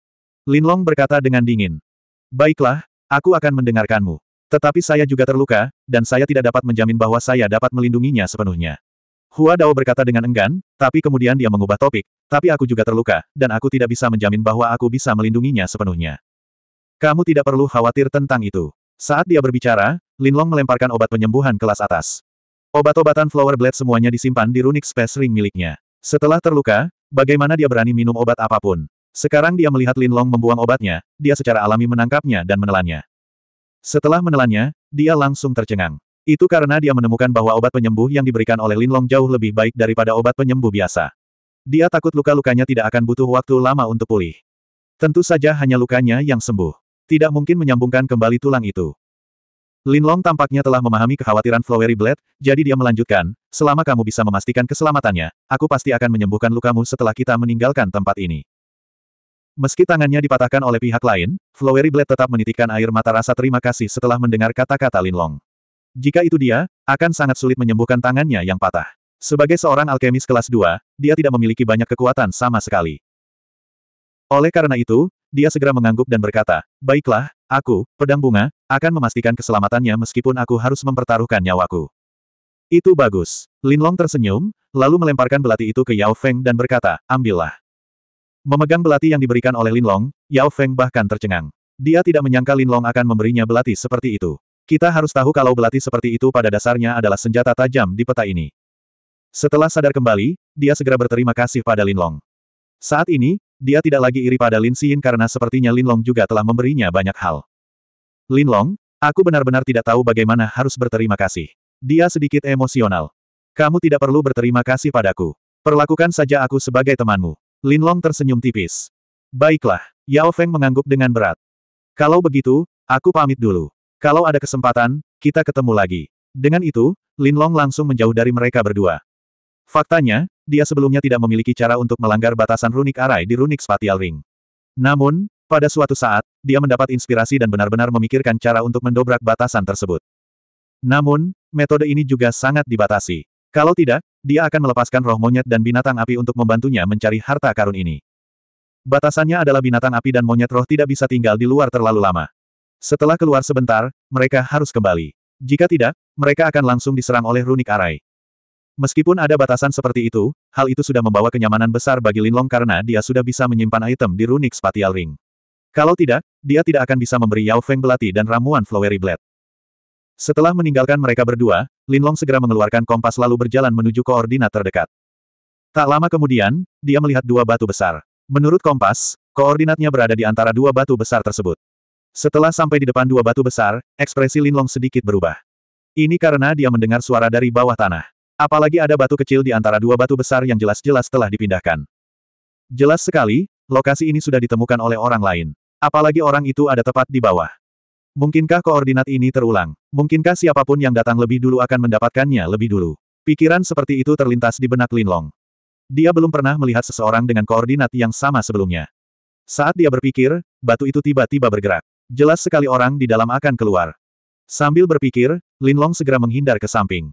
Pada saat itulah batu itu didorong hingga terbuka. Kemudian, seorang pemuda tampan melompat keluar dari dalam. Orang ini ternyata adalah Dedari Yu Dande. Setelah Su Yuande keluar, dia tidak langsung pergi. Sebaliknya, dia mengeluarkan pecahan peta yang dia peroleh dari ruang rahasia bawah tanah dan melihatnya. Seperti dugaanku, ini benar-benar sebuah pecahan peta. Koordinat ini tidak sia-sia. Namun, pecahan peta yang aku kumpulkan sejauh ini bahkan tidak sampai sepertiganya. Ini akan sedikit merepotkan, Su Yuande bergumam pada dirinya sendiri. Saat dia hendak meletakkan pecahan peta di tangannya, hembusan angin kencang tiba-tiba datang dari belakangnya. Ketika dia menyadari bahwa dia telah disergap, dia segera berbalik dan mengeluarkan belatinya pada saat yang bersamaan. Dilihat dari kecepatan serangan diam-diam dari belakang, itu bukanlah orang biasa. Oleh karena itu, Su Yuande tidak berani gegabah. Namun, Kehati-hatiannya menyebabkan dia melakukan kesalahan, yaitu meninggalkan pecahan peta dengan tergesa-gesa. Karena itu pula orang yang menyergapnya berhasil mengambil pecahan peta di tangannya. Melihat ekspresi pihak lain, bagaimana mungkin Su Yuande tidak tahu bahwa pecahan kertas itu juga merupakan pecahan peta. Lin Long, itu sebenarnya kamu. Kemudian, pandangannya beralih ke wajah pihak lain. Su Yuande kaget dan marah. Kenapa? Apakah kamu terkejut? Lin Long berkata sambil menyimpan pecahan peta itu. Hal ini tentu saja membuat Su Yuande marah. Lin Long, Aku mendapatkan pecahan peta ini terlebih dahulu. Kamu tidak boleh begitu malu dan mengambilnya sendiri seperti ini. Kamu harus mengembalikannya kepadaku, kata Su Yuande dengan ekspresi dingin. Sayang sekali pecahan peta ini tidak mencantumkan namamu di atasnya. Lin Long tersenyum acuh tak acuh dan menggelengkan kepalanya. Kamu, baiklah, sepertinya aku hanya bisa menggunakan kekerasan untuk merebutnya kembali. Saat dia berbicara, Su Yuande segera bergegas mendekat dan menebaskan belati di tangannya ke tubuh Lin Long. Su Yuande berpikir bahwa dengan senjata di tangannya, dia akan mampu menghadapi pihak lain dengan cepat. Namun, dia menyadari bahwa dia salah. Teknik gerakan pihak lain sangat mengejutkan. Tidak hanya itu, lengan pihak lain pun sekeras baja. Setelah beberapa kali tabrakan, lengan Su Yuande menjadi mati rasa dan belati di tangannya hampir terlepas dari tangannya. Jika bukan karena belati di tangannya dan teknik gerakannya yang bagus, Su Yuande percaya bahwa dia pasti tidak akan mampu bertahan lebih dari beberapa putaran. Ini tidak akan berhasil. Sepertinya saya harus menggunakan token seribu Cloud Rune. Kalau tidak, aku pasti akan mati di sini. Su Yuande buru-buru melemparkan belati ke pihak lain dan memanfaatkan waktu ketika pihak lain menghindar ke samping. Dia kemudian mundur beberapa langkah dan mulai melantunkan persyaratan untuk mengaktifkan token seribu Cloud Rune dalam hati. Hati Su Yuande segera menjadi tenang ketika dia merasakan cahaya dari token seribu Cloud Rune di dadanya. Ini karena dia tahu bahwa setelah mengaktifkan token seribu Cloud Rune, pihak lain bukanlah tandingannya. Sialan, Linlong, apa kamu sombong? Aku akan membuatmu berlutut dan bersujud padaku nanti. Tidak hanya itu, aku juga akan merampas barang-barangmu. Anda pasti memiliki banyak fragmen peta. Siapa tahu, saya mungkin bisa menemukan harta karun sekte tersebut. Banyak pemikiran terlintas di benak Su Yuande. Di matanya, Linlong yang sangat kuat sudah menjadi mangsanya. Namun, yang tidak dia duga adalah sebelum token seribu Cloud Rune diaktifkan sepenuhnya, pihak lain justru berbalik dan melarikan diri. Dengan kecepatan itu, sudah terlambat baginya untuk mengaktifkan token seribu Cloud Rune sepenuhnya. Su Yuande buru-buru berhenti mengucapkan istilah tersebut. Untungnya, token seribu Cloud Rune belum sepenuhnya diaktifkan. Kalau tidak, dia akan menyia-nyiakan kesempatan itu. Mengapa Lin Long tiba-tiba kabur? Su Yuande tidak bisa memahaminya. Dia tidak percaya bahwa pihak lain pergi karena token seribu Cloud Rune. Jika bukan karena alam mistik kota bintang surgawi, dia tidak akan tahu tentang keberadaan token seribu awan rune. Bahkan dia tidak tahu bagaimana orang luar seperti pihak lain mengetahui tentang token seribu Cloud Rune. Tapi kalau bukan karena ini, lalu apa? Su Yuande tidak bisa memahaminya. Dia tidak tahu bahwa Lin Long telah melihat token seribu Cloud Rune saat dia mengucapkan persyaratan. Meskipun Lin Long belum pernah menggunakan token seribu Cloud Rune di kehidupan sebelumnya, dia telah melihat orang lain menggunakannya. Oleh karena itu, dia langsung tahu apa yang dibicarakan Su Yuande. Jika dia tetap berada di tempat asalnya dalam keadaan seperti itu, pasti ada yang salah dengan otaknya. Pada saat ini, dia tidak hanya dapat melihat bahwa pihak lain memiliki token seribu awan rune, tetapi dia juga menebak bahwa pihak lain tersebut berasal dari Sekte Penyaringan Yin. Ini karena token seribu awan rune berasal dari Sekte Penyaringan Yin di kehidupan sebelumnya. 316. Lingkungan sekitar hutan sepi. Meski begitu, Lin Xin yang sedang memegang kompas masih berjalan ke depan dengan hati-hati. Dalam perjalanannya, karena kehati-hatiannya, dia menghindari banyak hal.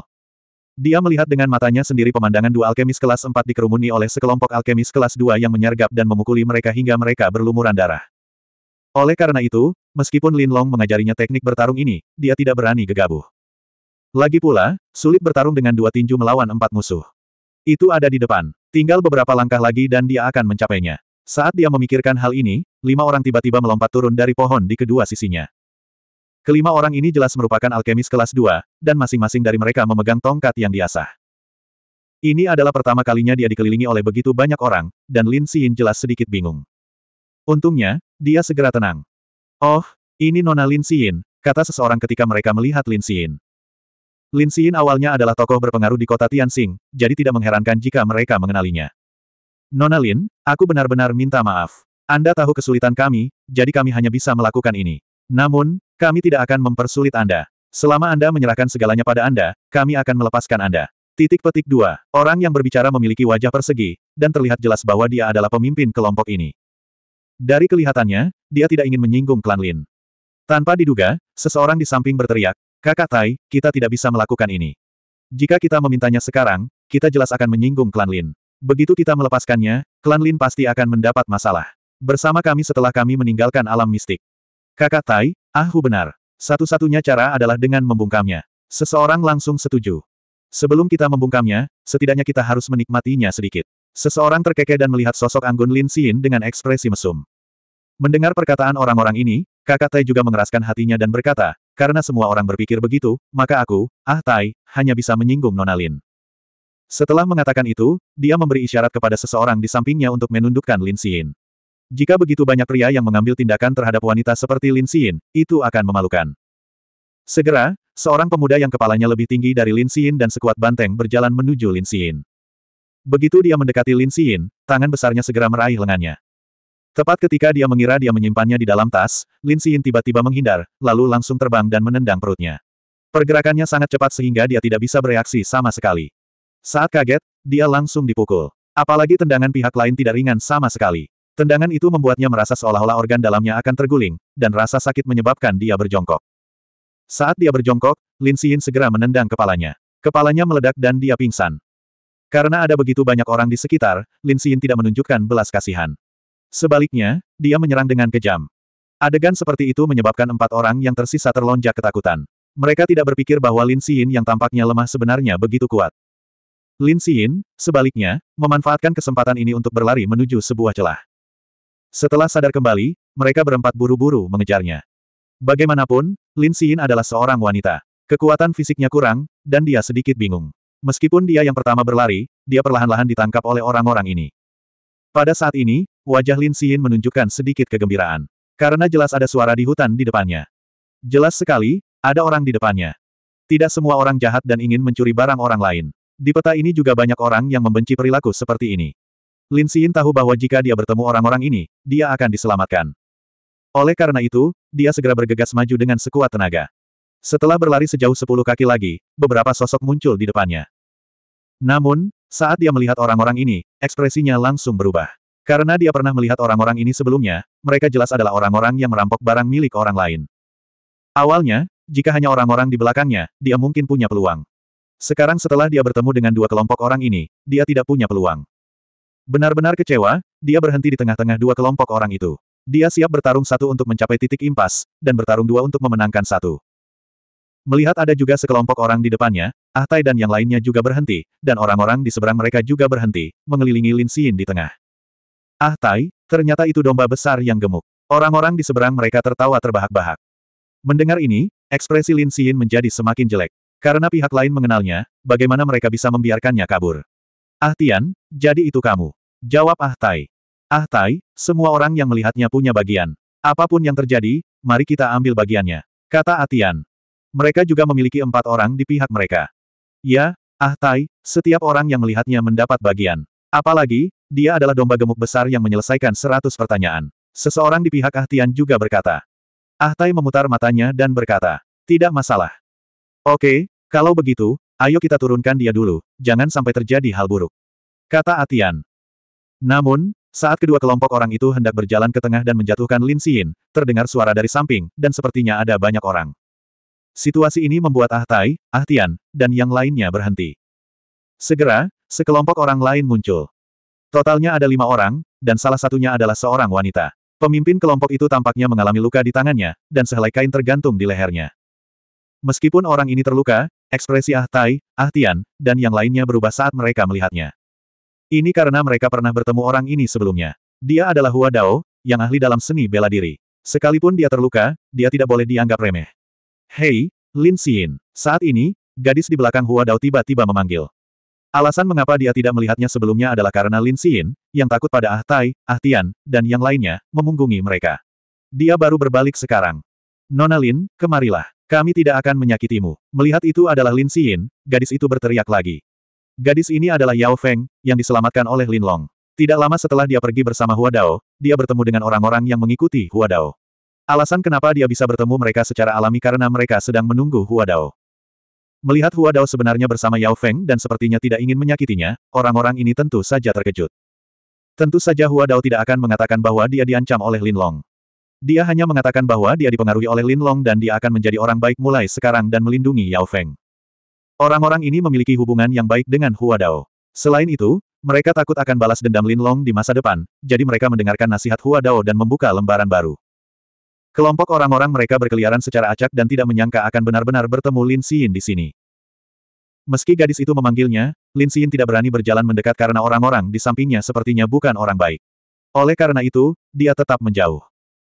Adapun Hua Dao, dia berkata kepada dua kelompok lainnya dengan ekspresi dingin, jika kamu pergi sekarang, aku, Hua Dao, tidak akan melanjutkan kesalahan yang kamu buat tadi. Ah Tian dan Ah Tai saling berpandangan dan tidak berniat pergi. Jika Hua Dao tidak terluka, mereka mungkin takut. Tapi sekarang Hua Dao terluka, mereka tentu berharap bisa menangkap Lin Xin dan mendapatkan bagian dari jarahan. Hua Dao, meskipun kamu kuat, bukankah kata-katamu terlalu berlebihan? Jika kamu ingin makan daging, setidaknya kamu harus membiarkan saudaramu makan sup, kan? Ah Tian mencibir. Ah Tian tidak melihat bahwa Hua Dao ingin melindungi Lin Xin. Dia hanya mengira Hua Dao ingin mengambil semuanya untuk dirinya sendiri. Benar, Hua Dao. Ah Tai juga setuju. Ada delapan orang dan karena Hua Dao terluka, mereka jelas lebih unggul. Bagaimana mereka bisa melepaskan kesempatan seperti itu? Kata-kataku masih sama. Cepat pergi. Kalau tidak, aku tidak akan sopan lagi. Hua Dao berkata dengan dingin. Karena itu masalahnya, Hua Dao, jangan salahkan kami. Ah Tian mencibir dan berkata kepada Ah Tai, Ah Tai, masing-masing dari kita akan meninggalkan satu orang untuk mengawasi Lin Xin. Sisanya akan berurusan dengan Hua Dao dan yang lainnya. Baiklah, ayo lakukan itu. Ah Tian segera mengangguk. Selanjutnya, total enam orang dari kedua belah pihak menyerang kelompok Hua Dao. Dua orang yang tersisa dibiarkan mengawasi Lin Xin. Jika bukan karena dia terlalu lelah berlari, Lin Xin pasti mampu menghadapi kedua orang ini. Namun kini, dia hanya bisa menarik napas dalam-dalam dan menunggu kesempatan. Ah Tai, Ah Tian, dan yang lainnya dengan cepat mulai bertarung dengan kelompok Hua Dao. Mereka mengira mereka berenam akan mampu mengalahkan mereka dengan cepat. Namun, mereka salah. Meski Hua Dao terluka, dia masih bisa bertarung melawan dua orang sendirian. Yang paling mengejutkan mereka adalah gadis itu benar-benar mengeluarkan belati. Karena kecerobohan sesaat, salah satu dari mereka langsung tertusuk belati di lengannya. Dalam sekejap, darah muncrat dan dia kehilangan kemampuan bertarung. Dengan cara ini, mereka berenam benar-benar dirugikan. Ah Tai, Ah Tian, dan yang lainnya sangat menyesal. Jika mereka tahu ini akan terjadi, mereka pasti sudah melarikan diri. Dua orang yang memperhatikan Lin Xin melihat ada sesuatu yang tidak beres dan bergegas untuk membantu. Siapa sangka salah satu dari mereka akan terkena serangan diam-diam Lin Xin dan jatuh ke tanah. Melihat masih ada beberapa orang yang berkelahi dengan kelompok gadis itu, Lin Xin ingin mengambil kesempatan ini untuk pergi. Saat ini, gadis itu tiba-tiba bergegas keluar dan berteriak. Nona Lin, kita pernah bertemu Lin Long sebelumnya. Mendengar ini, Lin Xin segera berhenti. Namun, dia masih sangat berhati-hati dan tidak berani melangkah maju. Lihat, ini belati yang diberikan Tuan Muda Lin Long kepadaku. Yao Feng memikirkan sesuatu dan mengeluarkan belatinya. Sekilas, Lin Xin segera mengenali bahwa belati itu milik Lin Long. Dia telah melihat Lin Long menggunakannya berkali-kali. Dengan kekuatan Lin Long, mustahil bagi orang-orang ini untuk merebut belati itu. Dengan kata lain, seperti yang dikatakan gadis itu, belati itu diberikan kepadanya oleh Lin Long. Karena itu, Lin Xin langsung mempercayai kata-kata gadis itu. Ketika Hua Dao dan yang lainnya datang untuk menyambutnya setelah membunuh yang lain, dia semakin yakin akan keraguannya. Alasan mengapa Hua Dao tidak berusaha membantu adalah karena dia ingin meninggalkan kesan yang baik pada Lin Long. Dia tahu bahwa jika dia bisa menjalin hubungan dengan Lin Long melalui masalah seperti itu, hanya akan ada manfaatnya. 317. Tanpa disadari, dua hari telah berlalu. Saya sudah menemukan 90 koordinat, tetapi keseluruhan peta hanya sepertiganya saja. Sepertinya saya tidak akan bisa menyelesaikan peta bahkan setelah menemukan 100 koordinat. Dengan kata lain, saya harus melakukannya mendapatkan sisa petanya dari orang lain. Lin Long berkata sambil berjalan di hutan. Setelah berjalan sekitar seratus kaki, matanya tiba-tiba berbinar. Tak jauh dari situ, ada tanaman berdaun empat dan seukuran telapak tangan di atas tanah yang agak menonjol. Rumput indah peach surgawi. Lin Long segera berteriak kaget. Rumput indah peach surgawi tidak hanya merupakan ramuan obat yang sangat berharga, tetapi juga sangat penting baginya. Jika dia ingin mengobati penyakit tersembunyi Lin Xin, dia harus menggunakannya sebagai bahan utama untuk memurnikan ramuan untuk mengobati penyakit tersembunyi Lin Xin. Lin Long tidak menyangka akan bertemu dengan rumput indah peach surgawi di tempat seperti ini. Segera, dia berlari menuju tangkai rumput indah peach surgawi tanpa berpikir dua kali. Namun, saat dia hendak mencapai sisi rumput indah peach surgawi, sebuah batu tiba-tiba terbang ke arahnya. Lin Long kaget dan cepat menghindar ke samping. Setelah berhenti, dia menyadari bahwa orang yang melancarkan serangan diam-diam ke arahnya dari samping adalah Yu. Yu sangat cantik. Dia memiliki rambut sedikit keriting di kepalanya, yang memberinya temperamen yang sangat istimewa. Pakaiannya yang ketat menggambarkan sosoknya yang sempurna, dan sepasang kakinya yang ramping pasti akan membuat imajinasi pria normal menjadi liar saat melihatnya. Dapat dikatakan bahwa ini adalah gadis yang hampir setara dengan Lin Xin. Namun, Lin Long sedang tidak berminat untuk mengagumi hal-hal seperti itu karena pihak lain jelas-jelas mengincar rumput indah peach surgawi. Saya harap Anda bisa bijaksana dan pergi karena saya tidak punya niat bertarung dengan wanita cantik. Lin Long tersenyum. Qin Xiaoyu mengerutkan kening tetapi tidak mengatakan apa pun. Pada saat berikutnya, dia tiba-tiba berlari menuju Lin Long. Saat dia berlari, Lin Long bisa melihat bahwa dia sedang memegang sesuatu di tangannya. Itu pasti belati. Benar saja, saat pihak lain bergegas, dia mengangkat tangannya dan memegang belati. Belati itu melengkung di udara dan langsung menusuk ke arah dada Lin Long. Namun, yang mengejutkan Qin Xiaoyu adalah pihak lain dengan mudah mengelak. Lin Long ini tidak mudah untuk dihadapi, Qin Xiaoyu segera berpikir dalam hati. Benar saja, pada serangan berikutnya, dia menyadari bahwa meskipun dia memiliki keuntungan dalam memegang belati, dia tidak bisa menyentuh lawannya sama sekali. Terlebih lagi, lawannya sepertinya tidak berada dalam situasi sulit sama sekali. Sebaliknya, dia tampak merasa nyaman. Qin Xiaoyu dengan cepat sampai pada kesimpulan ini. Dia sama sekali bukan tandingannya. Dia harus pergi secepat mungkin. Namun, saat dia hendak mundur, telapak tangan pihak lain menebas pergelangan tangannya. Telapak tangan yang seperti baja memotong pergelangan tangannya, menyebabkan dia merasakan sakit yang menusuk. Belati yang digenggam erat di tangannya terlempar. Karena khawatir, dia segera mundur. Untungnya, pihak lain tidak melanjutkan serangan lainnya. Sebaliknya, dia berlari menuju rumput indah catatan surga. Kalau tidak, dia akan langsung ditangkap. Bagaimana Lin Long bisa begitu kuat? Seru Qin Xiaoyu dalam hatinya. Dalam keterkejutannya, dia tentu saja ingin berbalik dan pergi. Dia tidak ingin ditangkap olehnya. Dong dong dong. Pada saat inilah juga terdengar suara yang sangat berat dari depan, seolah-olah ada sesuatu yang berat yang menghantam tanah. Seharusnya itu adalah makhluk kuat yang berjalan ke arah ini. Apa yang sedang terjadi? Qin Xiao Yu kaget. Kita harus tahu bahwa setelah sekian lama memasuki peta ini, dia tidak melihat makhluk hidup sama sekali. Dia bahkan belum pernah melihat seekor semut pun. Saat dia terkejut, dua siamang yang tingginya setidaknya sepuluh kaki muncul di depannya. Saat mereka melihatnya, mereka segera bergegas mendekat. Mereka bahkan berteriak, wah wah wah, seolah-olah mereka sangat marah. Buah dari rumput indah catatan surga adalah sesuatu yang disukai banyak makhluk. Siamang ini seharusnya menjaga rumput indah catatan surga.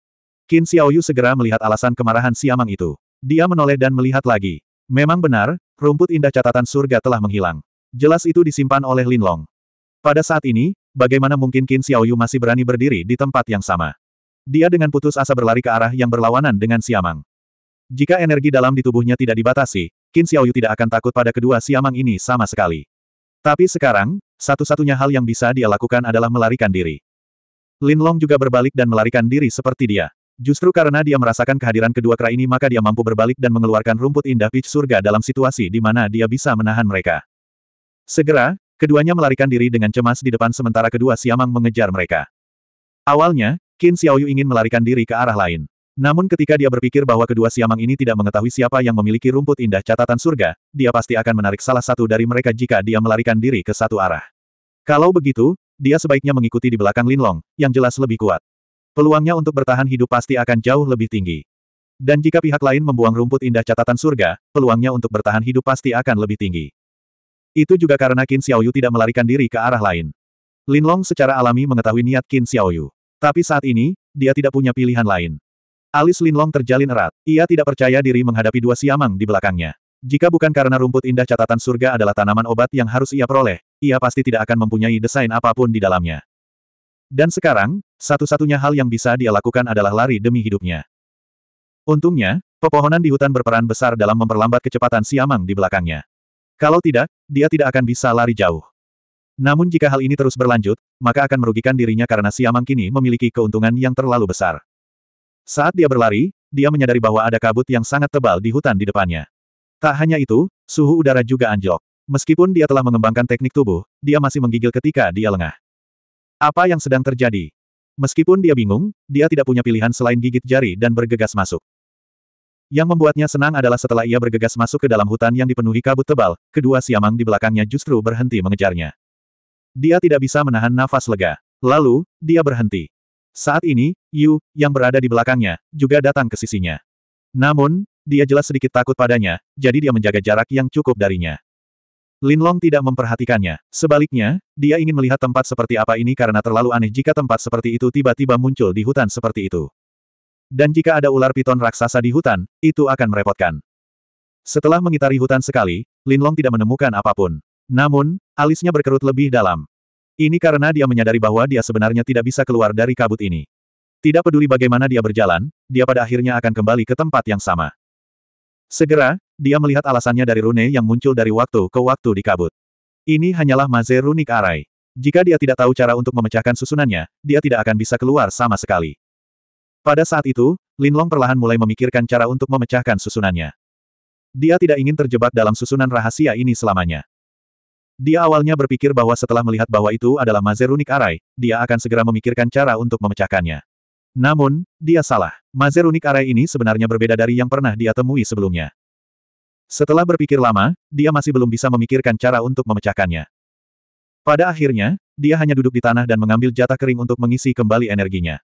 Selama periode waktu ini, Qin Xiaoyu juga menyadari bahwa dia tidak bisa keluar sama sekali. Pada akhirnya, dia hanya bisa duduk di tanah dengan putus asa dan menatap Linlong. Dia berharap Linlong bisa menemukan cara untuk keluar dari tempat ini, tapi jelas Linlong juga bingung.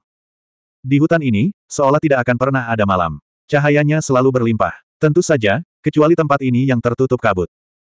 Seiring berjalannya waktu, saat panas dari lari yang intens tadi menghilang, Qin Xiaoyu menyadari bahwa tubuhnya mulai sedikit bergetar. Tempat ini terlalu dingin. Meskipun tidak ada es di sekitarnya, dia merasa seperti berada di gunung es. Dia awalnya berpikir bahwa dia akan sedikit menggigil. Siapa sangka semakin lama waktu berlalu, perasaannya semakin dingin. Pada akhirnya, udaranya sangat dingin bahkan dia merasa pusing dan ingin langsung berbaring di tanah dan tidur. Namun, dia tidak berani melakukannya karena dia takut Lin Long akan menyakitinya. Bagaimanapun, dia adalah gadis yang cantik. Dia sangat percaya diri dengan penampilan dan sosoknya. Selain itu, dia memiliki banyak harta karun, serta potongan peta yang mungkin terkait dengan harta karun sekte tersebut. Karena hal-hal ini, dia tidak dapat berbaring atau tidur. Oleh karena itu, dia dengan putus asa membuka matanya lebar-lebar dan menatap Linlong, berharap dapat mengalihkan perhatiannya. Pada saat yang sama, dia juga berharap bahwa dia tidak akan dapat melihat kesulitannya dan bahwa dia akan menjadi seperti dia, tidak mampu menahan dinginnya di sini. Namun, dia kecewa karena dia tidak merasakan kedinginan sama sekali. Bahkan, dia malah sedang santai bermain-main dengan dahan. Mungkinkah orang ini telah mengembangkan metode budidaya yang sangat berbeda dan mampu menahan hawa dingin di sini? Namun, hal itu mustahil. Di dunia rahasia ini, Ki yang mendalam dilarang sepenuhnya. Tidak peduli betapa berbedanya metode kultivasinya, tidak ada cara menggunakan Ki yang mendalam untuk menahan dingin. Pertanyaan yang tak terhitung jumlahnya terlintas di benak Qin Xiaoyu saat dia melihat Lin Long. Setelah beberapa saat, Qin Xiaoyu menyadari bahwa dia benar-benar tidak tahan lagi. Dia gemetar hebat hingga dia tidak bisa mengendalikan diri, hingga giginya bergemeletuk. Mungkinkah dia akan mati di sini? Pada akhirnya, pemikiran seperti itu malah muncul di benaknya. Pada saat inilah Lin Long tiba-tiba berkata dengan acuh tak acuh, jika kamu tidak ingin mati, datanglah. 318. Dingin, sangat dingin, sangat dingin. Oleh karena itu, meskipun pihak lain adalah musuh, Qin Xiaoyu akhirnya berdiri sambil menggigil dan berjalan ke arahnya dengan susah payah. Setelah tiba di samping Lin Long, Qin Xiaoyu segera duduk dan melingkarkan lengannya di pinggangnya. Meskipun ada perbedaan antara pria dan wanita, dia tidak peduli saat ini. Yang dia inginkan hanyalah kehangatan. Setelah memeluk pihak lain, Qin Xiaoyu segera merasakan arus hangat menyebar dari tubuh pihak lain, menyebabkan tubuh bekunya segera merasakan sedikit kehangatan. Hangat, sungguh hangat. Dia merasa seolah-olah tubuh Lin Long seperti Anglo ketika dia masih muda, menghangatkan tubuhnya. Itu sepertinya hanya tinggal kenangan, karena sejak dia memupuk energi yang dalam di tubuhnya, dia tidak tahu apa itu dingin. Baru hari ini hawa dingin membuatnya mengingat kenangan itu di masa lalu. Kehangatan ini membuatnya lengah. Setelah berlarian begitu lama, dan sekarang tiba-tiba merasakan kedinginan, dia merasa sangat lelah dan tertidur lelap. Setelah jangka waktu yang tidak diketahui, ketika dia bangun, dia menyadari bahwa dia masih memeluk tubuh Linlong, dan suhu tubuhnya sudah kembali normal. Kesadarannya sudah sangat jelas. Satu-satunya hal yang tidak berubah adalah mereka sepertinya masih berada di dalam kabut, dan masih ada gelombang udara dingin yang menyerang mereka. Qin Xiaoyu menyadari bahwa pria di sampingnya memejamkan mata, dan dadanya naik turun secara berirama. Mungkin dia juga tertidur. Pria ini benar-benar tidak terbayangkan. Di lingkungan yang begitu dingin, dengan ki yang sangat terbatas, bagaimana dia bisa mencegah tubuhnya diserang oleh hawa dingin? Qin Xiaoyu berpikir sendiri saat dia mengukurnya. Pada saat ini, dia tiba-tiba merasa bahwa pria di depannya sangat tampan, dan dia memiliki pesona yang dewasa dan unik, yang tidak dimiliki Su Yuande. Di hadapan pria seperti itu, Su Yuande tampak seperti anak kecil yang belum dewasa. Jika orang ini bukan berasal dari wilayah tengah, melainkan dari sekte penyaringan yin mereka, betapa bagusnya hal itu. Tiba-tiba, sebuah pemikiran yang bahkan dia harus segera hilangkan muncul di benaknya. Pada saat inilah Lin Long tiba-tiba membuka matanya. Begitu mata mereka bertemu, Qin Xiaoyu buru-buru memalingkan muka seolah-olah dia tersengat listrik. Orang harus tahu bahwa dia kebetulan sedang mengukurnya. Begitu pihak lain membuka matanya, dia melihat semua gerakan kecilnya. Entah kenapa, wajah kecilnya memerah. Mengingat bahwa dia masih memeluknya, dia segera melepaskannya. Untuk menyembunyikan rasa malunya, dia buru-buru berkata, Um, Um, Terima kasih, Linlong. Sejujurnya, jika bukan karena Linlong, dia mungkin akan kehilangan kesadaran karena kedinginan. Terima kasih kembali, Linlong tersenyum. Bagaimana kita keluar dari sini? Qin Xiaoyu bertanya. Sulit untuk mengatakannya, Linlong menggelengkan kepalanya. Dia telah memutar otak tetapi masih tidak dapat menemukan cara untuk meninggalkan tempat ini. Lalu apa yang harus kita lakukan? Qin Xiaoyu segera menjadi khawatir. Mari kita tunggu dan lihat. Mungkin kita akan menyeberangi jembatan itu ketika kita sampai di sana, kata Lin Long sambil tersenyum tipis. Ketika dia melihat bahwa Lin Long tidak khawatir sama sekali, Qin Xiaoyu entah kenapa merasa bahwa masalahnya tidak terlalu serius. Setelah beberapa saat, Qin Xiaoyu, yang merasa tubuhnya mulai kedinginan lagi, bertanya dengan malu-malu, Lin Long, bisakah? Bisakah aku tetap memelukmu? Tentu saja. Kalau begitu terima kasih. Saat dia berbicara, Qin Xiaoyu memeluk Lin Long. Sebelumnya, karena kedinginan, dia hampir kehilangan kesadaran. Oleh karena itu, pelukan dan sentuhan pada saat itu bukanlah apa-apa. Namun, sekarang berbeda. Saat dia bersentuhan dengan tubuhnya, yang memiliki bau maskulin yang kuat, jantung Qin Xiaoyu langsung berdebar kencang. Wajah kecilnya juga menjadi sangat merah. Orang harus tahu bahwa dia belum pernah melakukan kontak intim dengan lawan jenis sejak dia masih muda. Dapat dikatakan bahwa Lin Long adalah yang pertama dan satu-satunya. Untungnya, Lin Long sepertinya tidak menyadari rasa malunya. Kemudian, untuk menutupi rasa malunya, Qin Xiaoyu kemudian bertanya, Lin Long, mengapa tubuhmu masih begitu hangat ketika ki mendalammu jelas-jelas dibatasi? Sejujurnya, ini adalah sesuatu yang membuat dia juga sangat penasaran. Itu karena saya telah mengembangkan teknik kultivasi khusus, kata Lin Long sambil tersenyum. Metode kultivasi macam apa yang begitu istimewa? Qin Xiaoyu tidak mengerti. Kita harus tahu bahwa sebagai salah satu murid paling menonjol dari Sekte Penyaringan Yin, dia memiliki pemahaman yang sangat mendalam tentang metode kultivasi dan keterampilan bela diri. Namun, dia belum pernah melihat metode kultivasi apa pun yang dapat digunakan tanpa mengandalkan ki yang mendalam. Ini rahasia, kata Lin Long. Metode budidaya yang ia kembangkan merupakan metode budidaya unik di benua Mutian. Tentu saja, dia tidak akan memberitahunya dengan mudah. Kalau begitu aku minta maaf, kata Qin Xiaoyu. Meskipun dia sudah lama berharap dia akan mengatakan ini, dia merasa sedikit kecewa ketika dia benar-benar mendengarnya mengatakannya. Karena dia tidak tahu apakah dia bisa pergi atau kapan dia bisa pergi, dan karena di dalam sangat dingin, Qin Xiaoyu terus memeluk Lin Long seperti ini. Pada awalnya, dia sedikit pemalu, tapi seiring berjalannya waktu, dia perlahan terbiasa dengan kontak semacam ini. Pada akhirnya, dia bahkan tanpa sadar menyandarkan kepala kecilnya di tubuh Lin Long. Di tempat ini, Lin Long sudah menjadi satu-satunya pendukungnya. Sikap kecilnya yang kewanitaan pun terungkap setelah keduanya tampak akrab satu sama lain. Waktu perlahan berlalu dalam hubungan dan kontak aneh mereka. Sama seperti ini, sepertinya tiga atau empat hari telah berlalu. Pada saat tertentu setelah ini, Qin Xiaoyu terbangun dari tidurnya lagi. Dia menemukan bahwa Lin Long sepertinya masih tertidur, jadi dia diam-diam mengukurnya lagi. Beberapa hari ini, pengukuran seperti ini sudah menjadi kebiasaannya. Semakin dia memandangnya, semakin dia menyadari bahwa jantungnya berdetak lebih cepat. Mungkinkah dia sudah jatuh cinta padanya? Dia tidak bisa menahan diri untuk tidak memikirkan hal ini dalam benaknya. Sebenarnya, sejak dia masih muda, Qin Xiaoyu tidak tahu apa itu cinta sejati. Ini karena hubungannya dengan Su Yuande sebagian besar diatur oleh para tetua. Tampaknya hal itu tidak ada hubungannya dengan cinta timbal balik. Baru pada saat inilah Qin Xiaoyu menyadari bahwa cinta harus seperti ini. Tidak peduli seberapa sering dia memeluk pihak lain, dia merasa itu tidak cukup. Dia terus-menerus diam-diam menilai pihak lain, tetapi dia takut pihak lain akan mengetahuinya. Qin Xiaoyu, Anda harus ingat bahwa pihak lain berasal dari aliansi alkemis wilayah tengah. Tiba-tiba, sepertinya ada suara yang meneriakinya di dalam hatinya. Mendesah. Dia memalingkan muka dan tidak bisa menahan nafas dalam hatinya. Apa yang salah? Linlong membuka matanya dan melihat bahwa Qin Xiaoyu jelas-jelas menghela nafas. Tidak ada, aku. Aku hanya khawatir dengan situasi saat ini, kata Qin Xiaoyu dengan sedikit rasa bersalah. Oleh karena itu, anehnya wajah kecilnya memerah lagi. Jangan khawatir, aku sudah memikirkan cara untuk pergi. Linlong tersenyum saat ini. Benar-benar, Qin Xiaoyu segera berkata dengan gembira. Namun, setelah kebahagiaannya, dia langsung merasakan rasa kehilangan yang samar-samar dan tidak dapat dijelaskan.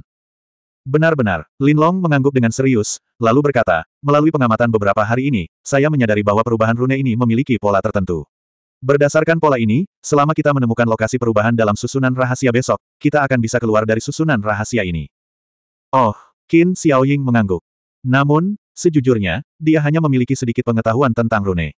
Setelah sekian lama, keduanya kembali memasuki kondisi tertidur. Dalam lingkungan seperti itu, meskipun Linlong mengolah teknik tubuh, ia tetap perlu istirahat, karena dengan cara ini energi seseorang akan lebih kuat. Setelah jangka waktu tertentu, itu akan menjadi titik penting dari perubahan susunan rahasia. Saat itu, tidak ada ruang untuk melakukan kesalahan, dan dia membutuhkan tenaga dan stamina yang cukup. Dalam keadaan linglung, Linlong menyadari bahwa sebuah tangan kecil terus-menerus meraba-raba dia. Itu tampak sangat asing, namun begitu gigih. Tak lama kemudian, tubuh lembut dan panas mulai memeluknya erat, seolah tak ingin lepas darinya. Ketika dia membuka matanya, Linlong menemukan bahwa itu adalah Qin Xiaoyu. Pada saat ini, dia benar-benar telanjang, dan kulit putihnya tidak diragukan lagi terlihat dalam cuaca dingin yang menggigit. Melihat dia membuka matanya, Qin Xiaoyu segera menempelkan bibirnya ke bibirnya. Lin Long bukanlah orang suci, dia juga bukan Liu Xiaohui yang tidak akan diganggu bahkan ketika dia sedang jatuh cinta.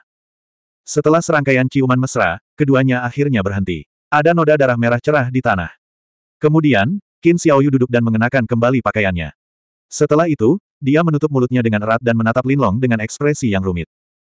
Lin Long, ini atas kemauanku sendiri, jadi kamu tidak perlu bertanggung jawab, katanya lembut. Mem, Linlong mengangguk dan menatapnya dengan tenang. Setelah sekian lama, dia tiba-tiba mengangkat kepalanya lagi dan berkata, anggap saja ini tidak pernah terjadi.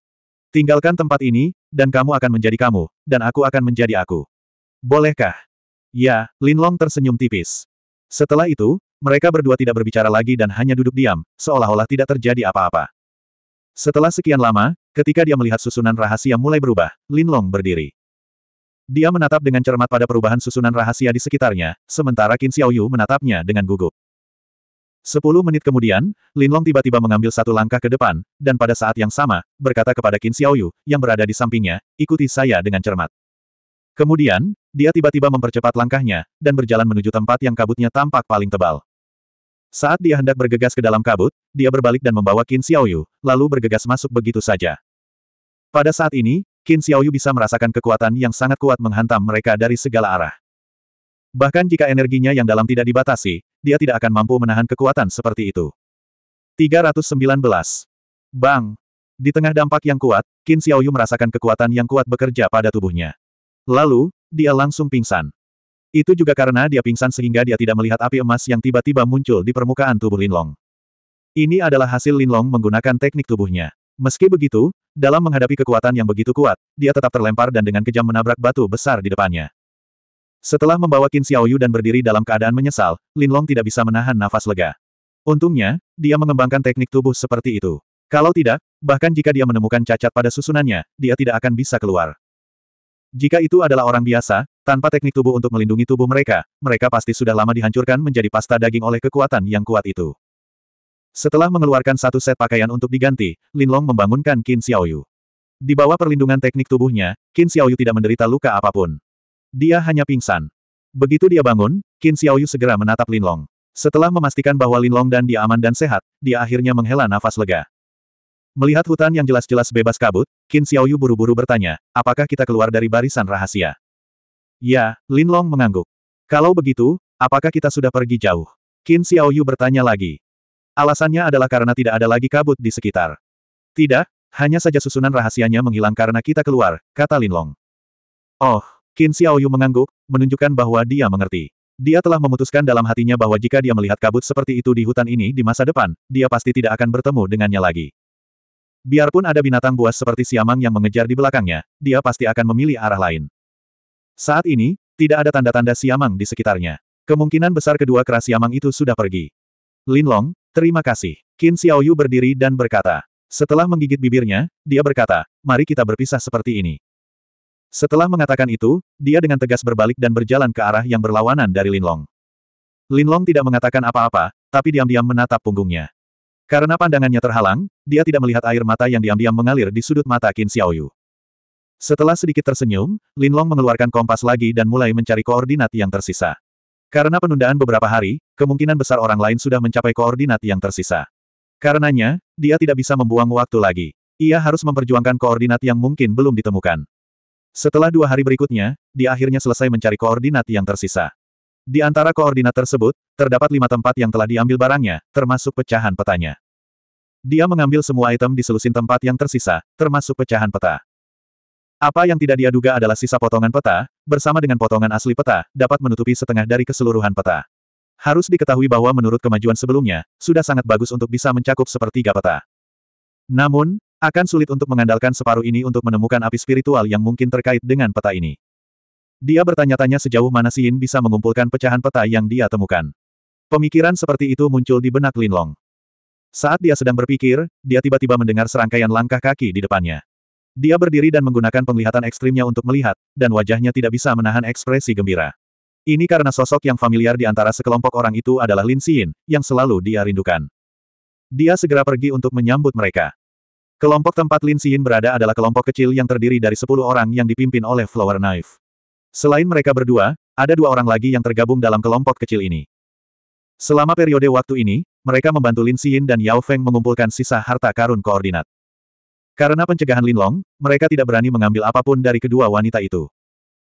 Kedua wanita itu juga merupakan orang yang tahu bagaimana membalas kebaikan, sehingga mereka memberi mereka banyak harta, sehingga mereka tidak merasa terlalu berkonflik. Melihat Lin Long, Lin Xin segera bergegas mendekat dan memeluknya erat-erat lama sebelum dia melepaskannya. Yao Feng, yang berada di sampingnya, memandang Lin Xin dengan iri. Setelah melepaskan Lin Xin, Lin Long tidak bisa menahan senyum ketika melihat Flower Knife dan yang lainnya. Jelas sekali bahwa pencegahan yang dia tinggalkan pada orang-orang ini efektif.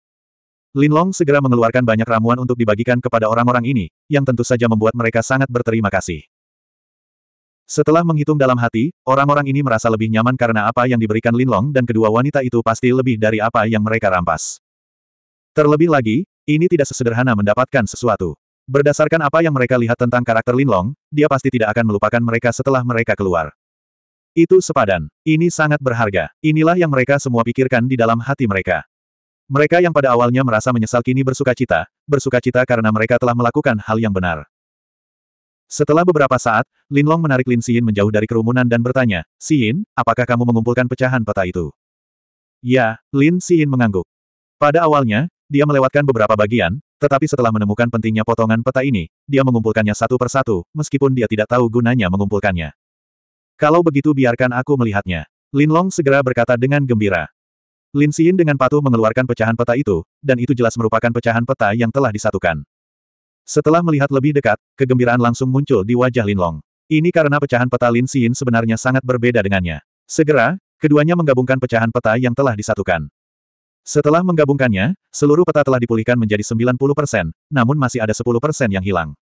Setelah berpikir sejenak, Lin Long memanggil Yao Feng. Setelah menjelaskan tujuannya, Yao Feng mengeluarkan pecahan peta yang ada padanya. Yang mengejutkan Lin Long adalah meskipun Yao Feng hanya memiliki beberapa bagian peta, dia sebenarnya mampu menyelesaikan bagian peta yang tersisa. Ini sungguh tidak terduga. Setelah melihat keseluruhan peta, beberapa dari mereka merasa gembira. Namun, mereka segera tercengang. Meskipun seluruh peta jelas merupakan suatu tempat di hutan ini, peta itu sangat besar. Jika tidak ada titik yang menonjol pada peta, tidak ada cara untuk menemukannya. Namun, setelah melihatnya dengan cermat beberapa saat, sedikit senyuman muncul di wajah Lin Long. Ini karena dia mengingat pertanyaan kedua yang telah dia selesaikan. Kedalaman yang tersembunyi hanyalah titik kunci dari keseluruhan peta. Setelah memikirkan hal ini, Lin Long segera mengetahui di mana titik kunci dari peta itu. Setelah memikirkannya, Lin Long membawa Lin Xin menjauh dari Flowery Blade, Yao Feng, dan yang lainnya, lalu menuju ke lokasi peta. Alasan mengapa dia meninggalkan mereka bukan hanya karena tidak ada gunanya mereka pergi, tetapi juga karena terlalu banyak orang di sekitarnya. Di tempat lain di hutan, Su Yuande sedang berjongkok di bawah pohon besar. Ada juga tumpukan pecahan peta di depannya, namun yang membuatnya marah adalah pecahan peta tersebut tidak bisa disatukan menjadi satu peta yang utuh. Sepertinya dia hanya bisa mencari Xiao Yu atau Lin Xin dan yang lainnya untuk mengambil pecahan peta dari tangan mereka. Dengan pemikiran ini, Su Yuande menyimpan pecahan peta dan menuju ke arah tertentu. Dua hari ini, tidak mudah bertemu seseorang seperti sebelumnya. Dia tidak tahu apakah itu karena jumlah orangnya berkurang atau karena ada orang yang bersembunyi. Su Yuande mencari tanpa tujuan di hutan, tapi yang membuatnya kesal adalah setelah mencari setengah hari, dia tidak menemukan satupun orang yang dia cari. Sepertinya dia hanya bisa menggunakan token seribu Cloud Rune. Tak berdaya, Su Yuande hanya bisa diam-diam melafalkan kata-kata untuk mengaktifkan token seribu Cloud Rune. Alasan mengapa dia melakukan ini adalah karena dia ingin menggunakan token seribu Cloud Rune untuk mengaktifkan rune pendeteksi di tubuhnya sementara token seribu Cloud Rune membatalkan efek dari susunan rahasia. Karena fakta bahwa Master Sekte Penyaringan Yin telah menempatkan rune pelacak khusus pada dirinya dan Qin Xiaoyu, dia akan dapat menggunakan Qi yang dalam untuk mengaktifkan rune pelacakan setelah dia memulihkan sebagian Qi yang dalam, sehingga memungkinkan dia untuk melakukannya. Temukan Qin Xiaoyu. Bahkan jika ini akan menyia-nyiakan kesempatan menggunakan token seribu Cloud Rune, dia tidak peduli. Dia tidak ingin tertinggal di belakang Lin Long karena Lin Long mungkin sedang menuju perburuan harta karun. Setelah token seribu Cloud Rune diaktifkan, rune yang tak terhitung jumlahnya muncul di ruang sekitarnya. Ketika rune ini menghilang, Su Yuande segera tersenyum karena dia bisa menggunakan energi yang dalam di tubuhnya. Meski tidak banyak, itu lebih dari cukup untuk merasakan lokasi Qin Xiaoyu. Setelah mengaktifkan rune pelacak di tubuhnya dan memastikan bahwa Qin Xiaoyu masih hidup dan lokasinya, Su Yuande segera bergegas ke arah itu. Karena energi yang sangat besar di tubuhnya, kecepatannya jauh lebih cepat dari sebelumnya. Setelah menghabiskan waktu untuk minum secangkir teh, dia akhirnya menemukan Qin Xiaoyu di hutan. Setelah melihat Su Yuande, Qin Xiaoyu berseru, kakak senior. Namun, Su Yuande tidak menyadari ekspresi aneh yang muncul di wajah Qin Xiaoyu. Xiaoyu, bagaimana? Apakah kamu sudah selesai mencari koordinatmu? Su Yuande buru-buru bertanya. Ya, Qin Xiaoying mengangguk. Apakah kamu mengumpulkan pecahan peta? Su Yuande bertanya lagi. Ya, jawab Qin Xiaoyu sambil mengeluarkan potongan peta yang telah dia kumpulkan. Setelah menumpuk keduanya, mereka dengan cepat menyusun peta lengkap. Setelah melihat peta, mereka berdua tercengang. Reaksi mereka sama seperti ketika Lin Long dan yang lainnya melihat peta untuk pertama kalinya. Setelah sekian lama mengalami depresi, keduanya hanya bisa sampai pada suatu kesimpulan. Mereka hanya bisa mencari di seluruh peta. Meskipun sulit dan mereka tidak tahu apa harta karun itu, inilah satu-satunya cara. Ini karena mereka tidak punya cara lain. Untungnya, setelah menggunakan token seribu Cloud Rune, Su Yuande masih bisa menggunakan energi yang sangat besar untuk meningkatkan kecepatan pencariannya. Jika tidak, mereka akan menjadi buta total. Tidak ada waktu yang terbuang, jadi mereka berdua segera mengeluarkan kompasnya. Setelah memastikan lokasi spesifiknya, mereka segera menuju ke arah itu. 320. Setelah tiba di area yang ditandai di peta, Su Yuande segera mulai mencari kemungkinan lokasi harta karun tersebut. Namun, ketika token seribu Cloud Rune kehilangan efeknya untuk pertama kalinya, dia masih tidak dapat menemukan harta karun itu. Karena tidak punya pilihan, dia hanya bisa mengaktifkan token seribu Cloud Rune lagi. Token Tousan Cloud Rune hanya dapat digunakan beberapa kali. Setiap kali digunakan, waktunya akan berkurang satu kali. Saat ini, dia hanya bisa menguatkan dirinya dan mengaktifkannya. Kalau tidak, bagaimana dia bisa menemukan harta karun itu? Setelah 10 menit berlalu, dia masih belum mendapatkan apa pun, dan ini menyebabkan dia sangat cemas. Dia tidak ingin mengaktifkan token seribu awan jimat lagi. Untungnya, ketika batas waktunya hampir habis, dia akhirnya merasakan semacam fluktuasi energi seratus kaki di depannya. Jika dia tidak menggunakan token seribu Cloud Rune, dia tidak akan bisa merasakannya. Hatinya langsung dipenuhi rasa gembira saat merasakan bahwa di situlah lokasi harta karun itu. Dia segera terbang ke arah itu. Dengan sangat cepat, dia sampai di tempat dengan fluktuasi energi. Itu adalah hutan yang tampak biasa, tetapi ada fluktuasi energi di udara. Tiba-tiba matanya menyipit karena ada dua orang yang berdiri di tengah area. Itu adalah seorang pria dan seorang wanita. Pria itu jelas adalah Lin Long, dan wanita itu adalah Lin Xin. Seperti yang diharapkan, Lin Long menemukan tempat ini sebelum aku. Jika saya tidak memiliki token seribu Cloud Rune, saya tidak akan dapat menemukan tempat ini. Su Yuande berpikir sendiri.